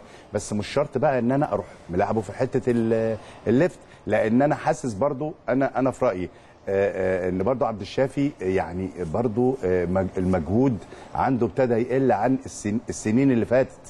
فأنت لازم يبقى عندك back left مين اساسي يا كابتن طيب؟ من وجهة نظرك ومن. للدوري؟ أيمن مثلاً. أشرف هو يعني يمكن أيمن أشرف. العب مين العب بيه. كده؟ أساس. في في الدوري الم... معقول في الدوري المصري محمد حمدي مثلا. محمد حمدي. آه آه، بتاع المصري. المصري طبعا. back آه. طبعا ليه ما back ادلوش left كويس. ليه؟ أنا من أنصار إنك لما تيجي تلاعب بالذات ال back left أو الطرف الشمال لازم يبقى راجل أشول هو بتاع الحتة دي. إنما إنك تغير تجيب من هنا لهنا دي يعني بتعمل خلل شوية. وإحنا شايفين إن عمر عنده إمكانيات بس مش عدلته يا كابتن آه، ماهر بالظبط. وإحنا جربناه قبل كده يمكن مع مع مع أحمد فتحي. بالظبط كده. برضك من اليمين الشمال ما نجحش صعب فيها. جدا. ما هو أنت الفرق في المباريات دي أنت مش عايز اللعيبة تأدي وخلاص. مباراه كأس عالم ثلاث مباريات. أنت عايز اللعيب اللي ينزل الملعب يبقى في أعلى مستوى يطلع كل اللي عنده وتستفيد منه بأكبر قدر ممكن. مش مجرد إنك تأدي وخلاص. التأدي وخلاص دي مثلا في ماتشات دوري طويل. النهارده بجرب بكرة معلش عندي ظروف. إنما دول ثلاث مباريات. آه، ما بيكرروش كتير. كأس عالم ده ما بيكررش كل آه، مرة. إحنا بقالنا قد إيه؟ وب- وبعد وبعد سنين طويلة وصلنا فعايزين نوصل الحمد لله عندنا نوعيات لعيبة كويسة. إزاي إن أنا أعمل التشكيلة والطريقة اللي تناسب المباريات دي وتخلي كل لعيب في الملعب بيدي أكبر طاقة وأستفيد منه. كابتن ماهر بالنسبة للمباراة تشكيل هو- كلام كتير بقى عن آه، المباراة دي إن الجمهور اتكلم آه، صراحة. إن أنا آه، في بعض اللاعبين عايز أتخلص منها فبنزلهم كده مع بعض عشان إيه لو عايز أمشيهم يعني يعني- في المباراة دي. عايز أقول لك حاجة ده آه، الكلام يعني اللي آه. آه عايز أقول لك يا محمد إحنا تنبأنا طبعا قبل المباراة لما عرفنا إن التشكيل هيحصل فيه تغيير عدد أكثر من ست سبع لعيبة.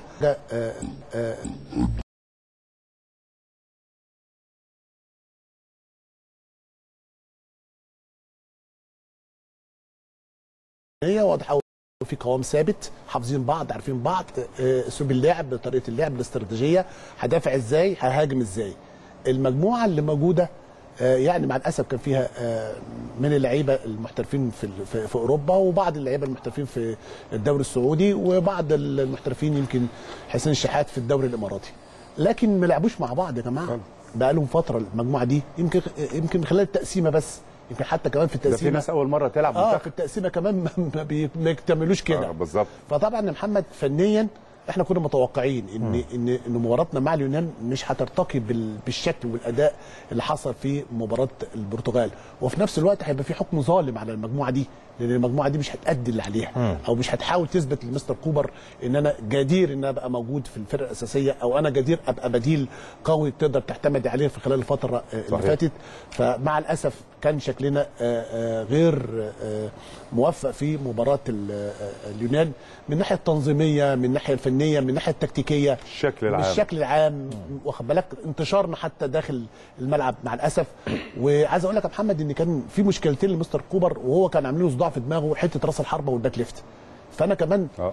آه، أقدر أركز في خلال الفترة دي على الحاجتين اللي ممكن أنا عايز أغير من خلالهم يعني لو عايز ألعب في فرقه صحيح. ألعب في المكانين دول صحيح. ما ألعبش في بقية ال- يعني الباقي كله خلاص معروف مين. رجالته ومين.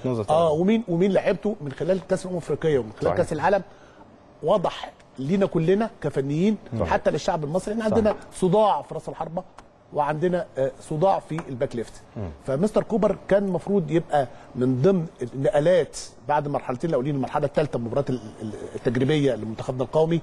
أنا من رأيي كان لازم يركز على راس الحربة وال back left. مين البديل؟ صحيح. وأبدأ أشركه أديله مباراة وأديله اثنين وأديله ثلاثة وبعدين أبدأ أحكم عليه. هل هيقدر يبقى بديل عبد الشافي؟ أو يقدر ياخد مكان عبد الشافي ولا يقدر ياخد مكان راس الحرب بدل كوكا مثلا من مروان محسن يقدر مروان من خلال المباريات فعلا يبقى ده المحطة اللي أنا محتاجها في خلال الفترة اللي جاية. ونفس الكلام زي ما إحنا قلنا حمدي آه، الولد بتاع المصري وأيمن أشرف. إيه إيه المانع ان كنت اخدهم معايا وأبدأ أديهم. واخد بالك؟ عبد الشافي خلاص ما أنا عارف عبد الشافي وشفته خلال الفترات اللي فاتت. ربنا في حاجة. اتفضل مهمه. تكملة لكلام الكابتن ماهر اتفضل يا كابتن سلام. إن أنت برضو الاختيارات اللي أنت هتجيبها دلوقتي يعني الوقت بقى ضيق قوي انها هتجيب واحد لأن على الساحة دلوقتي أو المجموعة اللي هو واخدها ما ينفعش يغير فيها خلاص. زي زي ما غير مثلا عمر جابر حطه في ال- ناحية الشمال. انت عايز في بطولة أفريقيا انت عايز لما جاب أحمد فتحي. أحمد حط فتحي. انت دلوقتي عايز يعني لعيب جديد خالص. فبالتالي هتجيب زي ما بنتكلم مثلا على اللعيب بتاع المصري. انت هتجيبه راجل ما راحش المنتخب خالص. هتجيبه دلوقتي تدخله في مرحلة صعبة آه، جدا صعب. جدا. هتبقى بالنسبة له عشان يتأقلم مع الفرقة و... وتروح الخضة من المباريات الرسمية مع منتخب مصر. هتبقى. صعبة جدا. المشكلة كمان في ماتش اليونان إن أنت الطموح عندك زاد. في المباراة الأولانية. شكل حلو مع فرقة كبيرة جدا. إحنا كلنا م... كنا ماخدون نقول يا ربنا يستر بقى البداية ما نتغلبش كتير ما تبقاش شكل وحش. لا كنت ند ومشيت ما كنت كسبت كنت هتاخد كأس عالم بقى تطالب إن أنت فاهم إزاي؟ الطموح جالك بقى الماتش اللي بعده مع منافس أضعف. الدنيا آه، آه، هي بس ما. ضرتش بالشكل اللي مطلوب بالنسبة للمباراه دي. وعامة يا محمد خد بالك إحنا مع الفرق الكبيرة بنرتقي بيها. صحيح. بنعلى بشكل كبير جدا. طيب. عكس الفرق إحساسك بالمباراة يا كابتن. يعني. لعيبتنا المصريين بالذات يعني صحيح. بنحب إحنا الفرق الكبيرة الأسماء و و و. واخد بالك؟ بتلاقينا فعلا الدوافع عندنا زادت. صحيح صحيح. الروح طيب. التركيز والاهتمام. التركيز الاهتمام. ربنا آه، يوفقهم يا كابتن. إن شاء الله يكون لأن طبعا ده منتخب التجارب الثلاثة مهم اللي جدا إحنا إحنا. متابعينهم الفترة اللي جاية بشكل طبعا خلاص بوت كبير جدا على منتخبنا الوطني. كأس العالم بيقرب ومباريات ودية تجهيز للبطوله دي. كل المصريين تقريبا أنا تمشي أنت رايح كأس العالم كل الناس تقريبا بتجهز نفسها إنها تروح. ورا منتخبنا فبالتالي مش عايزين ابدا يمكن يرجعوا وهم زعلانين إن شاء الله شاء الله. يرجعوا يروحوا ويبقوا مبسوطين ونعدي الدور الأول وده إن شاء الله طموح جديد للمصريين في ظل طبعا وجود مجموعة من النجوم منهم طبعا نجمنا محمد صلاح إن شاء الله ربنا يحميه كده ويبقى بخير وسلامة باستمرار. خلينا نروح للفاصل وأرجع بقى أكمل كلامي عن الحلقة. والحلقة طبعا هي ليلة المباراة وإحنا اتكلمنا بس منتخب مصر شوية. هنتكلم على ليلة مباراة الأهلي وطنطا ولكن بعد الفاصل.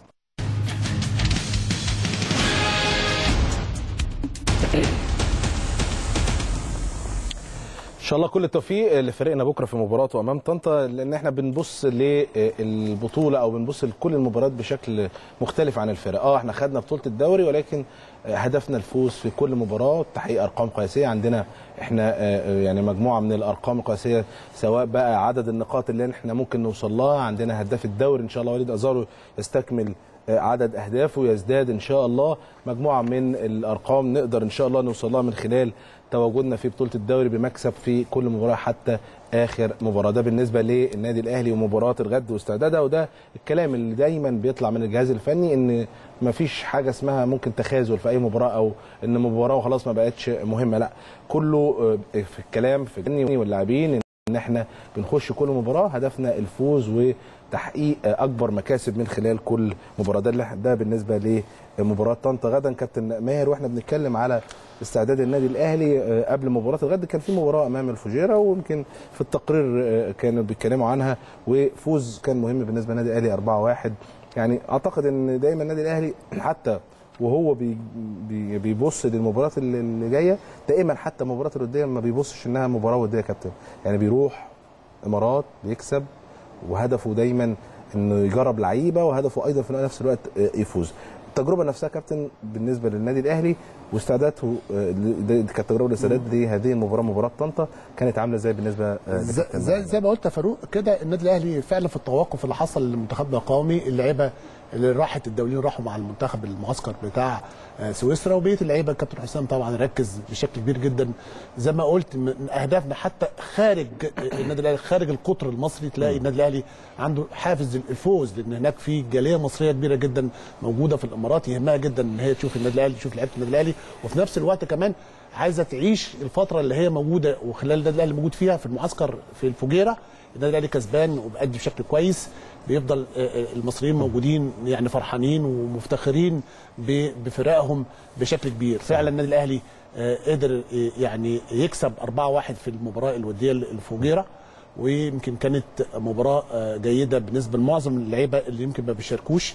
ودي بتبقى فرصة محمد في المعسكرات بالذات لما يبقى اللعيبة مش موجودين عندك الدوليين إنك أنت بتحاول تتعايش بقى مع بقية اللاعبين اللاعبين. وتشرك اللعيبة دي على قد ما تقدر لأنك أنت فعلا محتاجها آه، المشوار طويل.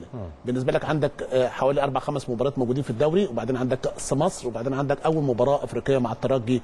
فأنت محتاج كل لعيب من هؤلاء اللاعبين. الحمد لله اللعيبة كلها يمكن ادت بشكل كبير جدا مباراة الفجيرة.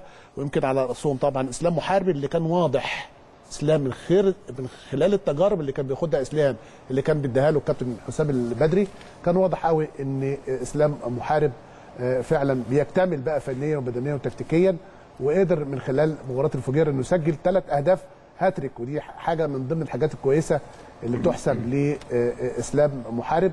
وبعدين يمكن الهدف الرابع كان لكابتن النادي الأهلي وكابتن مصر آه، حسام غالي آه، عشان يفوز النادي الأهلي بأربع أهداف.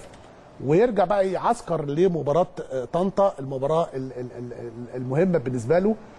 لو رجعنا كده يا كابتن محمد هنلاقي دي طبعا دي أهداف واضحه واسلام محارب و- وواضح إن في ذكاء كمان حتى يمكن من الباص الراجل كان ممكن يبقى تسلل لكن طبعا اللعيب ما- اشتركش في الهجمة. وقدر اسلام محارب إنه يسجل. دايما النادي الأهلي بيطمن بيطمنا كابتن جمهور وكابتن. طبعا خير. طبعا. جمهور جمهور المصريين اللي مباراة موجود في الإمارات. يا يعني. محمد يهمه جدا اولا المكسب يهمه جدا يشوف النادي الأهلي آه، آه، يعني بيمثله آه، بشكل كبير وبيطمن عليه وبيطمن على فرقته وعلى أدائه. وأربعة واحد دي نتيجة كبيرة جدا للنادي الأهلي في خلال مباراته الحبية مع الفجيرة. وده إحنا شايفين طبعا أهداف النادي الأهلي المتنوعة. الضايعة واللي, واللي بتتحضر وال والجمل التكتيكية اللي متعودين عليها اللاعبين مع مع حسام بدري في خلال الدوري العام. قدروا طبعا إن هم وده خطا طبعا واضح قوي من حارس المرمى طلع ساب مرماه. جميل جابر قدر إن هو آه، يتابع بشكل كبير جدا لكن طبعا حكم حسبها فاول على على لكن على لكن يا كابتن هي مباراة مميزة مباراة يعني أكيد كان ليها هدف والهدف ده بيمتد لمباراة الغد يا كابتن حشيش. أكيد ده بالنسبة لوجهة نظر كابتن حسام في أي مباراة ممكن ياخدها ودية يعني. آه، هرجع للمباراة. طبعا آه، مباراة طبعا قوية قدر النادي الأهلي إنه ما عندوش مباراة رسمية ومباراة ودية. آه، جمهور طبعا جمهور النادي الأهلي سواء في مصر أو خارج مصر آه، دايما على طول مستني المكسب من النادي آه، الأهلي. حتى الفرق اللي بتلعب النادي الأهلي في الخارج وإن كانت مباراة ودية يا كابتن ماهر إلا إنهم حتى يعني لو شفنا الماتش اللي فات بتاع الفجيرة آه، آه، الفرقه استعانت بنجم آه، الإمارات آه، عموري ونجم السعودية عشان برضو يدوا قوة لفرقة. الفجيرة. آه، آه، المباراة أعتقد إن في مجملها ترقى المباراة مثلا في الدوري المصري مباراة رس رسمية. ودي آه، آه، آه، الاستفادة جت من الحتة دي إن قدام جمهور كبير جدا آه، مباراة مع فرقة قوية مطعمة بنجوم آه، كبار على مستوى عالي. بتدي فرصة طبعا للعيبه اللي ما بتلعبش هنا في الدوري المصري ما عندهاش الفرصة إنها تلعب إنها تلعب مباراة. وبرده الكابتن حسام يحط إيده على العناصر ال- ال- اللي فيهم مميزة. شفنا آه، ناس تألقت في ال- ال- المباراة. إسلام محارب ثلاث أهداف آه، ده دليل على جاهزيته.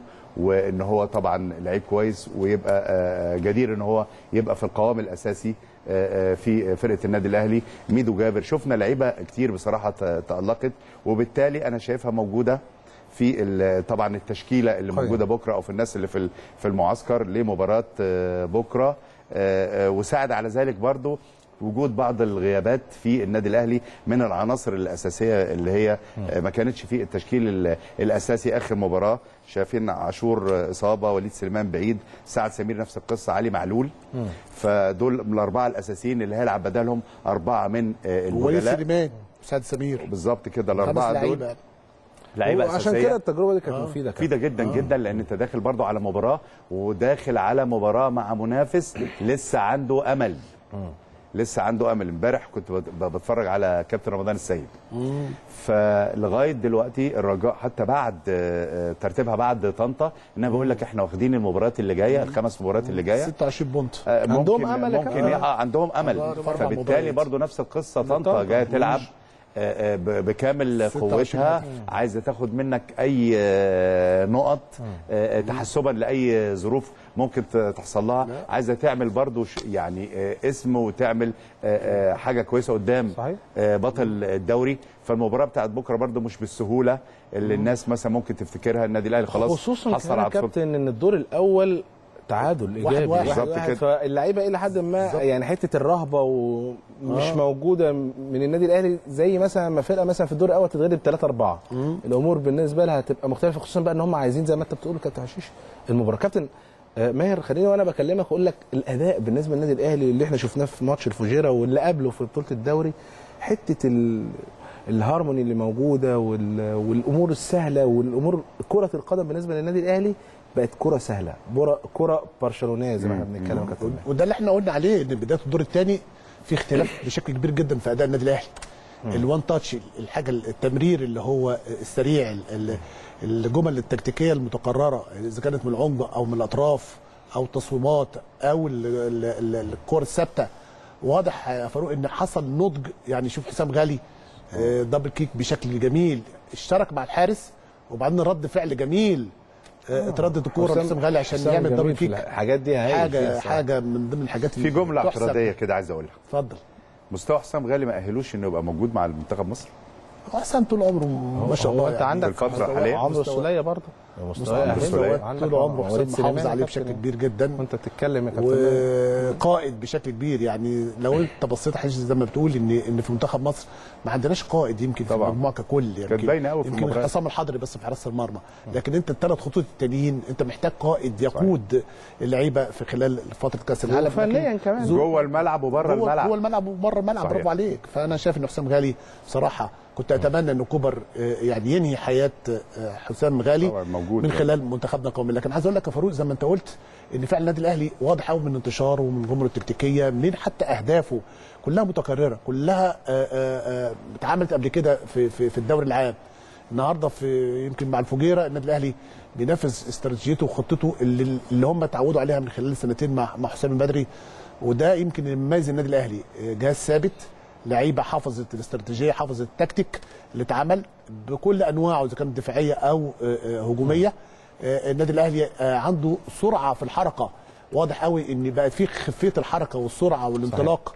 واضحه قوي على لعيبة النادي الأهلي. لعيبة النادي الأهلي كلها فت من خلال مباراة الفجيره طيب خليني آخد كابتن ياسر ريان. كابتن ياسر ريان طبعا نجم من نجوم النادي الأهلي. السابقين وكان المدرب العام لفريق طنطا في مباريات الدور الأول اللي انتهت بالتعادل واحد واحد. كابتن ياسر مساء الخير يا كابتن. مساء الخير يا كابتن فاروق. وسلام. للكابتن ماهر أمام وكابتن محمد حشيش. ده كابتن ياسر. ياسر إزيك؟ يا تحياتنا ليك يا كابتن. يعني أنا هكلمك على النادي الأهلي الأول وأكيد في فرق ما بين طنطا كمان في الدور الأول والدور الثاني ولكن النادي الأهلي بعد حسمه لبطولة الدوري وخلاص يعني من المباريات المتبقية أكيد ليه هدف مختلف عن آه، آه، آه، الفترة اللي قبل حسم البطولة كابتن ياسر من وجهة نظر حضرتك. بص يا كابتن فاروق بالنسبة لمباراة الأهلي وطنطا أنت عارف النادي الأهلي إحنا متعودين حتى لو خدنا بطولة ما نحبش نخسر ده عامة يعني صحيح. ده سمه في النادي الأهلي فالنادي الأهلي متعود إن الماتشات اللي بيلعبها بيلعبها حتى لو خدنا البطولة وتعادلنا أو خسرنا ماتش من الماتشات بتبقى مشكلة في النادي الأهلي هو صحيح. متعود على كده صحيح يا كابتن فعشان كده هتلا- هتلاقي كابتن حسام بدري خد بطولة الدوري آه بس هو برضه طمعان أكتر عايز يكسب عايز يخلي اللعيبة تاخد ثقة. أنت عارف في بطولة أفريقيا موجودة في اللعيبة هتروح المنتخب كل ده بتدي عوامل مساعدة للنادي الأهلي. فالنادي الأهلي ما فيش حاجة اسمها إحنا خدنا بطولة دوري أو خدنا بطولة كاس أو كسبنا لا النادي الأهلي على طول عايز يكسب. فالمباراة طبعا ما فيش شك هتبقى على نادي طنطا صعبة. وخاصة المباراة كمان في, في القاهرة هنا. النادي الأهلي واخد بطولة دوري. في لاعيبه كل مدى بتبقى اللي بتدخل في المباريات عايزة تثبت وجودها. كل ده طموح بيبقى لعيبة النادي الأهلي. صحيح. طب آه، يمكن يا كابتن ياسر كنت حضرتك متواجد في المباراة الأولى اللي في الدور الأول تعاملتوا آه، هل ممكن طنطا يبقى مختلف عن الدور الأول؟ الطموح مختلف دلوقتي. أنتوا أكيد من ساعة ما جيتوا كان عن نفس المشكلة تقريبا أنتوا كنتوا بتواجهوها حتة إن أنتوا كنتوا في جزء ممكن يكون خطر شوية. الوضع دلوقتي بالنسبة لطنطا الطموح المفروض يبقى أكبر من في ظل طبعا احتياجه لعدد النقاط عشان يبعد شوية عن جزئية ال- الهبوط يا كابتن. بص يا كابتن فاروق بالنسبة للمباراة للنادي طنطا أو الفرق اللي هي انت عارف زي نادي النادي اللي هي بيبقى اللي من الأقاليم برضه مباراة الأهلي والزمالك بتبقى مباراة بالنسبة لهم اللعيبة بتبقى أصلا ما بتبقاش أنت محتاج تتكلم كتير قوي في المحاضرات. اللاعب مركز قوي لنفسه عايز يثبت وجوده قدام الفرقة الكبيرة عايز يقول أنا موجود ده لذاته الشخصي. مش للفرقه الجماعية. تمام. فهي بتيجي في الآخر لما أنا كل لعيب بقى من جواه عايز يبقى كويس فبيأدي يبقى كويس وكله بي- بينكر الذات في الم- في المباراة. علشان هو مش هو هو مش هدفه إن الفرقة تكسب على فكرة مش تقريبا في الفرق اللي إحنا موجودين. لا هو عايز يركز اللي هو يبقى كويس. فتخيل كل ده بيبقى إحساس جوه كل لاعب فالمباراة تبقى صعب مش هتبقى إن شاء الله يعني إحنا مش هنقول تبقى صعبة. هي طبعا ما فيش شك اللي هي نادي طنطا عايز يكسب وعايز يبقى موجود في الدوري. وفي نفس الوقت كل لاعب من جواه عايز موجود. لكن في الأول وفي الآخر مباراه الأهلي وطنطا إحنا إحنا جربتها الدور الأولاني مع النادي الأهلي. يعني آه إحنا كنا لسه ماسكين الفرقة ما فيش بقالنا فترة بسيطة. دخلنا على المباراة. اللعيبة كلها كانت مركزة قوي قوي قوي في مباراة الأهلي. فالنادي الاهلي مفيش شك هيبقى برضه آه، عنده نفس الم... ال- الحماس ده بتاع اللعيبة. لكن في الأول وفي الآخر هي المباراة صعبة على نادي طنطا يعني. طيب آه، يعني حتى بالنسبة للاعبين يا كابتن المتواجدين آه، في النادي الأهلي ممكن هيشاركوا بكرة. في جزء منهم كبير ما يمكن خلاص كابتن حسام البدري أكيد هيجرب بعض اللاعبين. ما أعتقدش يا كابتن آه، فاروق. الكابتن حسام هي... هي... هي... هيغير كتير قوي في التشكيل. فطبيعي جدا. هو هو في تثبيت تشكيل عنده.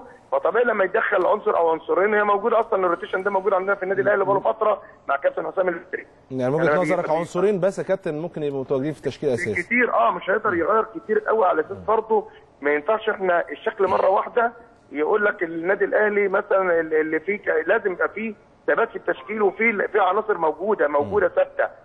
أيوه بس يا كابتن. كابتن ياسر وإحنا بنتفرج على المباراه الودية زي مباراة الفجيرة مثلا ما ده يطمن كابتن حسام البدري إن اللاعبين اللي متواجدين يعني آه، خلاص هم حافظين طريقة اللعب فبالتالي لو حتى غير التيم كله الأمور بتبقى ماشية بشكل كويس خصوصا اللي أنت خلاص حسمت بطولة الدوري من وجهة نظر حضرتك إيه لا ما رأيك؟ أعتقدش ان أنت بتفكر إن هو يغير الفرقة كاملة ما ينفعش. صعب جدا.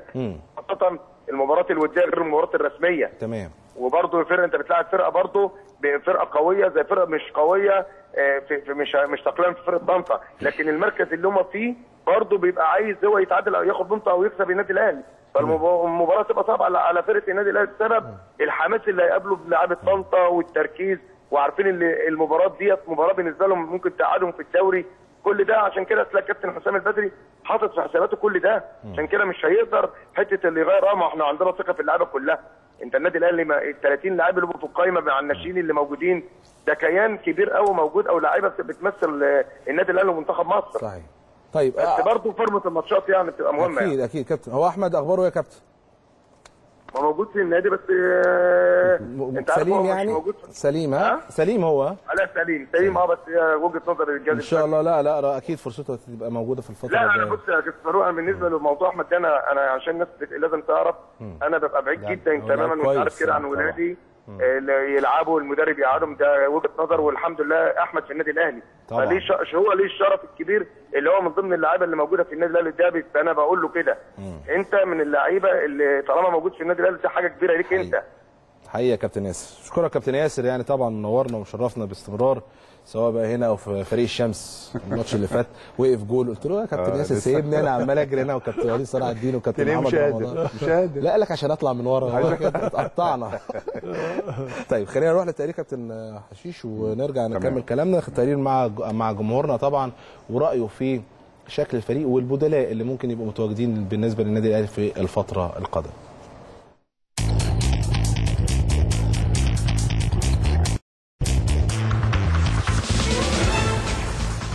المفروض آه، يعني ماتشات وماتشات. يعني في ماتشات في الدوري سهلة يشارك اللعيبة اللي راكنة بره آه، واللي هو يعني يعرف ده مستواه إيه في الملعب.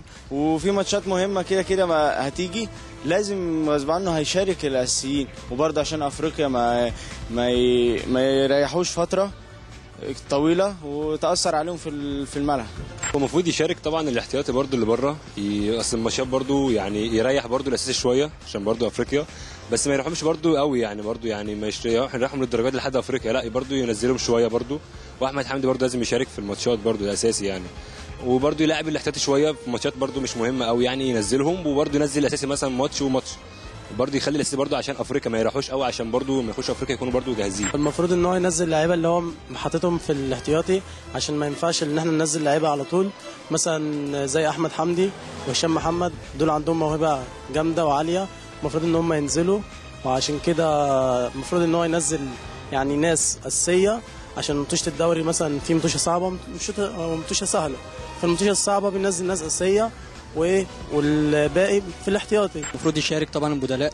عند حضرتك زي هشام محمد وأحمد حمدي المفروض يديهم فرصة برضو زي إسلام محارب لما اداله فرصة. والمفروض برضو يشارك ال- الناس الأساسيين بحيث إن هو يعدهم لبطولة أفريقيا. لعيبه البدلاء فهو ممكن في متوشة سهلة تقابله كتير في الدوري فهو ممكن يستغل الفرصة دي وإن هو يشارك لعيبة بدلاء اللي هم بقالهم فترة بعيد عن الملعب. فعندك مثلا زي هشام محمد وأحمد حمدي وإسلام محارب بدأ برضه إن هو ياخد فرصته مع الأهلي بس اللي هو محتاج برضه يثبت رجله في الملعب فاللي هو هيحتاجه في الفترة الجاية برضه هيحتاجه في أفريقيا عشان إسلام محارب لعيب مهم. وفي في نفس الوقت ما يتخلاش عن الفرقة الأساسية طبعا إن هم ما يروحوش فترة طويلة. بحيث إن هم يبقى على فورمتهم الأساسية في بطولة أفريقيا بإذن الله. الأيام اللي إحنا فيها دي دلوقتي الأهلي بسم الله ما شاء الله يعني حسم الدوري آه، يلعب يجرب البدلاء والأساسيين إن شاء الله في أفريقيا بإذن الله. لازم يلعب بالبدلاء لأن النادي الأهلي اشترى عمل صفقات كبيرة وصفقات إحنا كنا بنتمناها وفي لعيبة ما خدتش فرصتها لغاية دلوقتي. وإحنا بنزعل كجماهير النادي الأهلي أو كعاشقين للنادي الأهلي إن إحنا بنلاقي مثلا لعيب مثلا زي عمرو بركات الأهلي جابه ما استفادش بيه ومشي. آه لعيب مثلا زي بكماني ممكن يمشي لعيب مش عارف آه، زي أي لعيبة أكرم توفيق لغاية دلوقتي ما لعبش. المفروض الناس دي الأهلي يستغلها لأن الأهلي عمل صفقات في لعيبة زي دي. المفروض إن هو يستغل إن هو فاز ببطولة الدوري ويجرب اللعيبة دي لأن النهارده اللعيبة دي آه، كانت في أنديتها عاملة شغل كويس. وإحنا كنا وكنا فرحانين جدا إن الأهلي تعاقد معاهم. لكن أنا شايف من وجهة نظري الشخصية إن لازم النادي الأهلي يجرب اللعيبة دي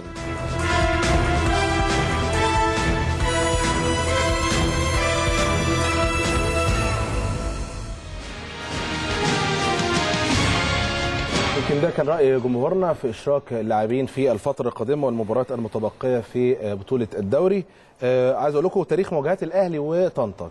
كان آه، 23 مواجهة ما بين الفريقين. 18 مباراة فوز للنادي الأهلي. آه، طنطا لم يفز على النادي الأهلي ولا مرة في ظل طبعا هذه آه، المواجهات. أيضا خمس مباريات آه، تعادل 45 هدف بالنسبة للنادي الأهلي في مرمى طنطا وثمان أهداف فقط. في مرمى النادي الأهلي من فريق طنطا كابتن محمود الخطيب وكابتن طه إسماعيل أربع أهداف هم هدافي الفريق وكابتن رفعت الفناجيلي طبعا أكثر اللاعبين. مشاركة هو والدكتور طه إسماعيل في هذه المباريات. بالنسبة ده لتاريخ المواجهات ما بين الأهلي وطنطا. كابتن يمكن وأنت بتتكلم على آه، القايمة بالنسبة للنادي الأهلي قلت إن في بعض اللاعبين اللي موجودين في آه، مباراة الفجيره هيبقوا متواجدين بشكل آه، ما. تتوقع تشكيل أساسي بالنسبة لمباراة الغد يا كابتن حشيش إيه؟ بص يا فاروق أنا يعني بقول إن التجارب والماتشات ال- الودية زي الماتش الأخير ده أثبت إن آه، آه، البدلاء كلهم لا يقلوا عن العناصر الأساسية. آه، نفس طريقة اللعب بيلعبوا بنفس الطريقة آه، آه، على مستوى عالي كلهم الحقيقة. شفنا أسلام محارب آه، يعتبر برضو آه، مش أساسي في الفرقة راجل بديل آه، يحرز ثلاث أهداف. آه، ميدو جابر برضو عمل مباراة كويسة. الناس كلها اللي اشتركت هشام محمد الناس آه، كلها اللي اشتركت على مستوى عالي. فأنت دلوقتي يعني أنا في رأيي طبعا رأيي الشخصي إن أنت مش هتلاقي فرصة أحسن من الفرصة بتاعت آه، بكرة دي إنك تلاعب بقى الناس اللي لعبت مثلا المباراة اللي فاتت يكملوا وتخلي الدكة عندك آه، آه، قوية بالعناصر الأساسية. آه، تحسبا لو في أي حاجة ممكن بتدفع بيهم في أي وقت من أوقات المباراة. لو ما كانش يبقى أنت استفدت برضو إن عندك دكة قوية وفي نفس الوقت بتريح بعض اللعيبة الأساسية اللي بقى لها مشوار الدوري كان طويل جدا ومجهدين سواء مع النادي الأهلي أو مع منتخب مصر. لو هنتكلم على تشكيل مثلا ليه ما تديش آه، بكرة مثلا آه، علي لطفي يكمل المباراة والشناوي لاعب مع آه، آه، آه، منتخب مصر وجاي وسفر وتعب وفي إرهاق؟ آه، وشفنا علي لطفي ظهر بمظهر كويس في مباراة الفجيرة. آه، كذلك برضو ممكن تدي بقى تدي أنا شايف إن في في ال- ال- المعسكر في أكرم توفيق. ممكن برضو تحاول برضو إنك تقربه شوية لأن أنا أنا في رأيي إن أكرم توفيق من أقل الناس اللي خدت آه، فرص أو مباريات. لازم تقف على آه سنه صغير لسه بس لازم برضو تقف على آه، مستواه الحقيقي وتدفع بيه مثلا في مباراة زي دي. آه، أنا حاسس طبعا ان كابتن حسام برضو يعني برضو خايف على ال record اللي عامله ان هو طبعا النادي الأهلي انت بتبص آه، بتبص لحتة ال record طبعا في كل حاجة. الحته دي عايز يكمل مكسب وفي نفس الوقت برضو ما تخسرش. آه، توصل برضو ل record كويس في المباراة دي في الدوري ده ان انت برضو بلا آه، هزيمة. آه، بس أنا بقول له برضو ان اللعيبة دي لا تقل فعلا عن اللعيبة الأساسية. وممكن لو هنتكلم على أتوقع التشكيل لأن أنا برضو قلت المره اللي فاتت كده بس برضو حسيت ان حسام بيغير كابتن ماهر في نطاق محدود قوي. بيحافظ برضو دايما يعني حتة تثبيت التشكيل دي تثبيت التشكيل. موجودة كابتن حسام. فلو هنتكلم تحب عن يعني التشكيل؟ آه يعني- ممكن هيلاعب برضو الشناوي. هيلعب صبري رحيل انت قلت عليه لطفي يا كابتن. أنا أنا أنا بقول اللي هي ال- التوقعات اللي هيعمله إنما أمنياتي حاجة ثانية أمنياتي حاجة ثانية ماشي قول. يعني أقول لك على التشكيل اللي نفسي يلعب بيه ولا لا، لا، التشكيل المتوقع. طب المتوقع طيب. الشناوي آه، صابر رحيل طبعا لأن معلول بره أيمن أشرف ونجيب. آه، فتحي أحمد فتحي. ممكن يلعب بالسولية وهشام محمد. وقدامهم غالي. كصانع ألعاب وممكن يبدل مع آه، هشام محمد. ممكن يلعب ناحية اليمين إسلام محارب جاي ناحية الشمال ووليد أزارو طبعا لا غنى عنه. برغم طبعا التفوق اللي موجود بالنسبة ل آه، مروان محسن إنما هو برضو آه، هيلاعب أزارو. تكملة برضو المشوار اللي عامله وبرضو اللي هو في سباق طب- الهدافين طب نبقى أنت ما حسيتش ليه مروان يا كابتن؟ وإحنا بنتكلم أكيد في حتة ال- contact ما بين المنتخب وال طبعا. الاهلي في حتة تجهيز بعض اللاعبين كمان بص عشان كأس العالم. انت يعني مروان واحد من الناس أنا اتكلمت برضه. على كابتن ماهر التشكيل المتوقع. آه. إنما لو عايز رايي بقى في التشكيل تاني لا أنا أحط طبعا مروان لأن مروان محتاج عدد ماتشات كبير المنتخب مش هيقدر يوفرها له الفترة اللي جاية. فأنت محتاج النادي الأهلي يسند بيه مباريات لمروان كابتن حسام على فكرة متفاهم الجزئية دي بشكل كبير. آه، هنتكلم على مثلا فتحي ممكن تريح فتحي. بكره ان فتحي مجهد من اللعيبه اللي عامله المشوار كامل. فممكن تكمل مع بمحمد هاني. تخلي فتحي برضو آه، على دكة الاحتياط مثلا. آه، آه، ممكن تلاعب ندفد يعني في في ناس كتيرة ممكن يلعبوا مش هتح مش هتحس ابدا آه، بال بال بالفارق. إنما زي ما بقول لك أنا ده توقعاتي بالنسبة للتشكيل. كابتن ماهر لو اتكلمت على تشكيله يعني تتفق مع كابتن حشيش في جزئية بعض اللاعبين وتثبيت القوام بالظبط. نفسه؟ ونفس الكلام اللي قاله ياسر إن إن حسام البدري بيدور على الدوافع بيدور على الانتصارات بيدور على الإنجازات اللي هو آه، قدر إن. هو آه الارقام قدر يوجدها خلال الموسمين الموسم اللي فات آه، الحمد لله ما خسرناش ولا مباراة. آه، الموسم ده الحمد لله آه، بنحقق البطولة قبل نهاية الدوري يمكن بحوالي أربع خمس أسابيع. ده برضك انجاز تاني يحسب للفرقة. عنده إنجاز أقوى دفاع موجود في الدوري عنه لمدة سنتين. عنده أقوى هجوم موجود آه، في الدوري لمدة سنتين. عنده هداف الدوري وليد أزارو. آه، النجمة الرابعة آه، للنادي الأهلي آه، في حصوله على البطولات آه، خلال 40 سنة. دي كلها إنجازات بتحسب طبعا لتاريخ حسام بدري واللعيبة اللي موجودين ال 29 لعيب اللي موجودين آه، في قائمة النادي الأهلي اللي بيعتبروا من أميز اللعيبة اللي موجودة في. مصر ويمكن العالم العربي والعالم الأفريقي. آه، لو هنبص للتشكيل ثبات التشكيل ده عنصر مهم جدا إحنا شايفينه. يعني التغييرات بتبقى في أوقات آه، يمكن بسيطة. إجهاد بعض اللعيبة إصابات بعض اللعيبة. إحنا ذكرنا يمكن خمس لعيبة مصابين وليد سليمان وسعد سمير وشريف إكرامي وعلي معلول وعاشور. ودول ركيزة كبيرة جدا لحسام بيعتبر من ضمن الخبرات اللي بيعتمد عليها بشكل كبير. عندنا مباراتين مباراه آه، طنطا وبعدين الداخلية كأس مصر وبعدين مباراه الترجي أول افتتاحية بالنسبة لنا لبطولة أفريقيا. ثبات التشكيل وطريقة اللعب 4 2 3 1 دي الطريقة المميزة يمكن اللي اللعيبة بدأت تهضمها بشكل كبير مع كابتن حسام البدري. آه، شفنا يمكن في الفجيرة بعض التغييرات أو بعض ال- ال- التشكيلة اللي دخلت آه، من خلال آه، آه، اللعيبة اللي موجودة في آه، آه، آه، الفجيرة في مباراتهم في الإمارات. مباراة آه، طنطا أنا شايف يمكن آه، الشناوي هيرجع تاني لحراسة المرمى كتشكيلة آه، ممكن كابتن حسام يعتمد عليها بكرة في مباراة طنطا. آه، أنا شايف آه، صبري الرحيل في حتة الشمال. هي المشكلة بس آه، آه، إن سعد سمير متعور. ونجيب بس هو اللي موجود ويمكن رامي متعور. أيمن أشرف موجود. أيمن أيمن أشرف. ومحمد هاني ساعات بي بي بي بيجي يعني خلاص أيمن أشرف كابتن. آه، أيمن نجيب. أشرف آه ونجيب يعني شايف. أيمن أشرف ونجيب وهيبقى محمد هاني. أحمد فتحي ممكن يكون في الراحة برضك من ضمن اللعيبة زي ما حش قال. اللعيبة الدوليين اللي هم آه، يعني عملوا سنتين بصراحة من أفضل السنوات من أحسن اللعيبة اللي موجودة آه، في مصر أحمد فتحي في السنتين دول صحيح. حسام غالي وعمرو السوليه حسام يخش. مم. أنا شايف حسام في مباراة الفجيرة حالته كويسة جدا بشكل كبير. صحيح. آه اتنين في نص الملعب هيبقى حسام غالي وعمرو السوليه اجاييه قدامهم كصانع ألعاب. آه، يمكن الفترة اللي فاتت ما لعبش هو مع منتخب نيجيريا. بقى له يمكن حوالي 10 أيام فأنا شايف إن الكابتن حسام ممكن يدفع فيه بشكل كبير جدا. آه إسلام محارب ومروان محسن. ويمكن أحمد حمودي يعني بيقولوا إن حالته كويسة الفترة اللي فاتت ممكن الكابتن حسام يبدأ آه، آه، آه، بال آه، محتاجه أنت برضه حموده كابتن في آه حتة صنع يعني أنا. شايف هو حمودي بدور من. ضمن اللعيبة صحيح اللي محتاج انها تاخد بشكل كبير صحيح. إسلام محارب وأحمد حمودي ومروان محسن كرأس حربة آه، في الخط الأمامي طيب هرجع ليكم بقى في جزئية التشكيل والدور ال- الأدوار بتاعت اللعيبة اللي ممكن تقوم بيها في آه، التشكيل اللي أنتوا اخترتوه يا كابتن. بالنسبة لفريق النادي الأهلي وبرضه طموح فريق طنطا اللي يمكن متعادل في آخر مباراة في الأسبوع 29 أمام الأسيوطي واحد واحد أكيد برضه يعني حتة إن هو محتاج النقط كمان. طبعا. مباراته الأخيرة أكيد بتفرق بشكل كبير. خلينا نروح لتقرير مع جمهورنا وتوقعاته لمباراة الغد.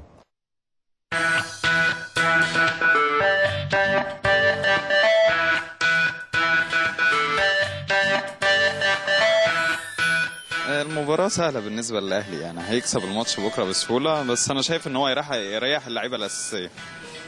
عشان خاطر اللعيبة الأساسية شايف إن هي تروح معسكر تروح معسكر المنتخب لأن الأهلي دايما هو اللي بيسند المنتخب. وعشان خاطر مستوى اللعيبة الإرهاق والموسم طول الموسم وضغط المباريات وكده وفي دوري الأبطال. إن الأهلي هيكسب بنسبة كبيرة يعني عشان الأهلي خلاص حسم الدوري. فالماتش هيكون مرتاح وممكن يلعب اللعيبة الاحتفال اللي ما لعبتش طول الموسم. يريح اللعيبة الدولية كانت معسكر سويسرا.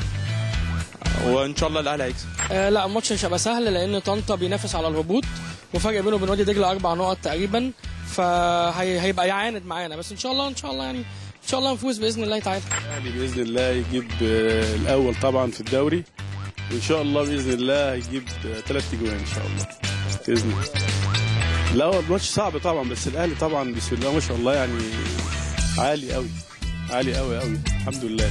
النادي الأهلي ده مدرسة. آه، عمرها آه، ما تنخفض توقف ولا في اي حاجة. لعيبة الأهلي هم لعيبة الأهلي. دايما يمتلك ال- الحس الفني في الكورة. وعمرهم آه، ما نكسوا على جمهورهم أو خذلوه هم دايما آه، عند حسن ظن الجمهور والأهلي مهما كان فريق قدامه لازم يبقى صعب وقوي. وإن شاء الله الأهلي هيغلب بإذن الله. الموقف ليهم صعب جدا ويبقى فرقة بتلعب على الفوز. هيحاولوا يعني يعملوا ديفنس بقدر ما يستطيعوا على أساس إن هم حتى لو خدوا نقطة من النادي الأهلي دي دي بثلاثه point بالنسبة لهم هم. انما إحنا بالنسبة لنا إحنا كأهلي أكيد طبعا بإذن الله بكرة هنكسب وهنكسب score كبير كمان يعني. يعني ثلاثة أربعة.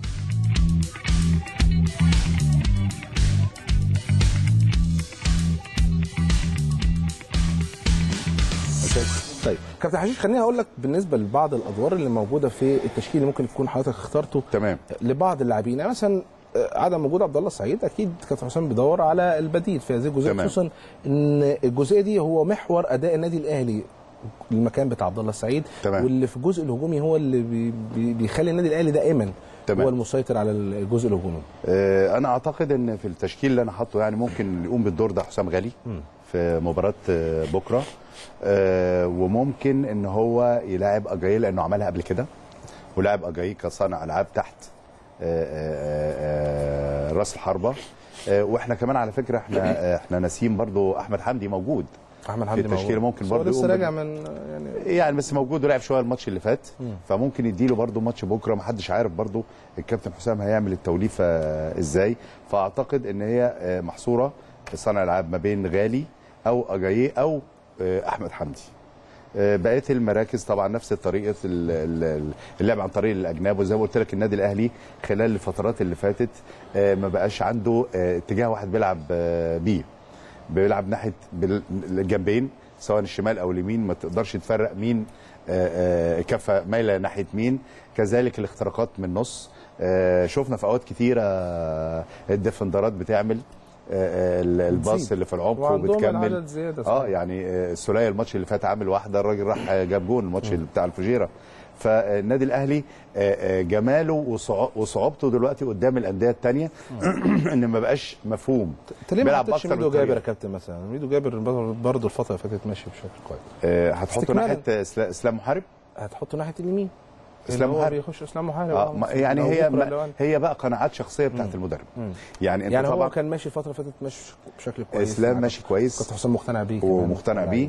إسلام ماشي كويس وجايب ثلاث أهداف ال- الماتش اللي فات فإحنا. بلغة الكورة بنقول ماشية بس خلي بالك فممكن. يعني أنا طبعا كابتن حسام ليه كل طبعا إحنا بنتكلم مع بعض طبعا. في جزئية مهمة جدا ان كابتن حسام بيعتمد على اسلام في حتة البديل تمام ودي دايما موجودة في أي حتة في العالم إن أنت عندك بديل بتطمنه إنه يبقى موجود جنبك يغير لك الماتش لو لا قدر الله في أي مشكلة طب أقول لك على توقع تاني خالص ودايما الكابتن حسام أنا حاسس انه بيموت في اللعيب ده وبيلعب على طول. كريم بيستنى.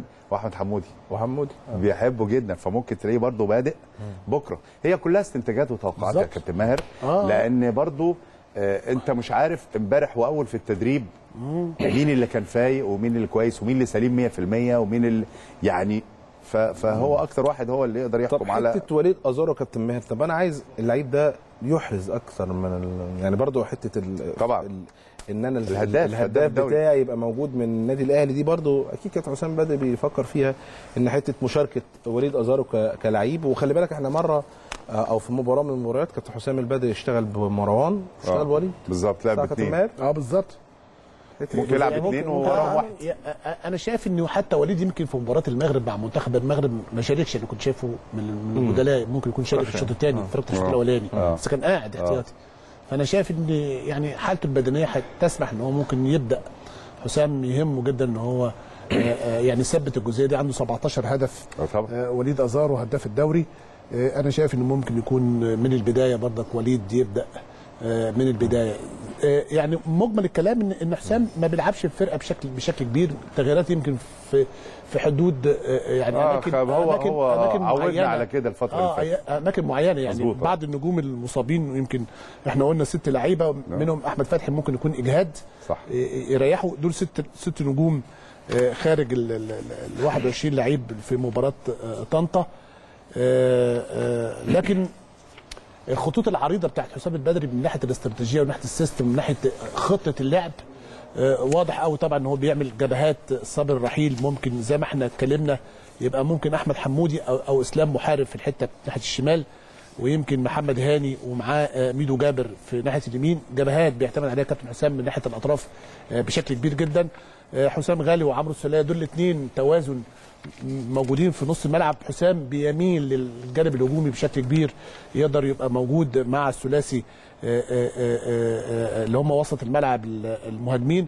اجاييه وهو يمكن الوحيد اللي اللي بياخد دور عبد الله السعيد وشفناه أكتر من مرة. تسعة ونص يقدر يأديها بشكل كبير. وهو لعيب ذكي جدا. كلام كتير في الجزئية دي كابتن في المرحلة الجاية خصوصا بعد حتة تجميد وجود عبد الله سعيد في الفريق مين اللي هيبقى متواجد؟ أنا شايف هل اجاييه آه. حمودي أنا شايف أحمد حمدي. اجاييه بصفه بصفة أساسية بنسبة يمكن 95% أيوة، أيوة. ويمكن احمد أحمد حمدي حمدي. هو اللعيب. كابتن أنت عندك كاس مصر. آه. وعندك مباراة مهمة جدا أمام الترجي. طبعا. آه. دي- افريقيا طبعا. طبعا. طبعا. مباراة الترجي دي هيبقى ليها وضع وشكل أنت وكيان ما انت تاني. بتفكر فيها من لكن دلوقتي آه لكن. أنت عندك مباراتين يا محمد زي ما أنت قلت بنبدأ نستعد لهم بشكل كبير جدا يعني آه، آه، آه، استعداد لمباراة الترجي بشكل جيد. زي ما أنت قلت يمكن اجاييه هو اللي ممكن يكون بديل لعبد الله السعيد في المكان ده. هو أحسن أحسن فترة الاستعداد للبطوله زي ما انت بتقول لي يجهز آه. آه، بدائل لبعض المراكز زي مركز عبد الله السعيد انه أنا أنا شايف انه قبل كده جرب اجاييه وكان كويس. هايل هايل. بس لازم يجرب برضه. صحيح. لأن بالظبط. انت في مباريات معينة بتحتاج برضه اجاييه يبقى آه، آه، طرف شمال. فبرضه كابتن حسام يعني الف- الفرصة دي ممكن يجرب فيها. كذلك برضه في نقطة برضه هتوقف عليها التشكيل بتاع بكرة. ما تنساش إن عندك يوم الخميس بعد ثلاث أيام من بكرة مباراة سموحة. سموحة من الفرق القوية اللي بتلعب كورة بتعمل نتائج دايما كويسة مع النادي الأهلي ترتيبها الخامس وعايزة تحسن سموحة الحد يا كابتن، مش الخميس. الخميس. حد سموحة الأسبوع 30 لحد 8 أبريل. الحد الحد آه، مباراة قوية جاية فبرضو أنت آه، آه، ممكن برضو تريح بعض العناصر الأساسية في مباراة قوية زي دي لأن برضو آه، سموحة عايز يحسن مركزه. فده برضو كل المعطيات دي بقى إن شاء الله. آه، كابتن حسام بيقعد مع الجهاز على. الترابيزة وبيحاول طبعا إن هو آه، آه، آه، يدرسها كويس قوي عشان يحط أنسب تشكيل. النهارده كابتن شرف. ربنا يخليك يا كابتن. كابتن ماهر نور شرفت شكرا كابتن يا كابتن محمد. يعني يمكن إحنا بنتكلم على مباراة الغد وهي في الأسبوع ال 30 إن شاء الله بكرة في مباراتين ال- الزمالك والإسماعيلي هتكون آه، آه، أيضا متواجدة الساعة 5 ونص والأهلي إن شاء الله وطنطا الساعة 8 ونص. ولكن الأسبوع ال 30 ابتدى من يوم 19 مارس كانت بمباريات الرجاء وطلائع الجيش وانتهت بفوز الرجاء 1-0 وتعادل الأسيوطي وسموحة 0-0 والمقاولون العرب ووادي دجلة أيضا 0-0 والنصر ومصر المقصه وفوز مصر المقصه 1-0 والاتحاد السكندري وبتروجيت 2-2 والإنتاج الحربي وإم بي 1 1 ده بالنسبة لمباريات الأسبوع ال 30 واللي ابتدت من يوم الاثنين 19 مارس. إن شاء الله بكرة هيكون الختام بالنسبة لهذا الأسبوع. كل التوفيق إن شاء الله لفريقنا غدا. عايز بس قبل ما أنهي الحلقة أقول لسعد سمير كل سنة وهو طيب عيد ميلاده النهارده ال 29 لاعب من اللاعبين المميزين صخر الدفاع النادي الأهلي في التوقيت الحالي وأيضا إن شاء الله يبقى ليه دور كبير جدا مع منتخبنا الوطني. بعد الفاصل إن شاء الله هيكون معاكم الزميل الإعلامي آه، كابتن آه، إيهاب الخطيب والأهلي في كل مكان.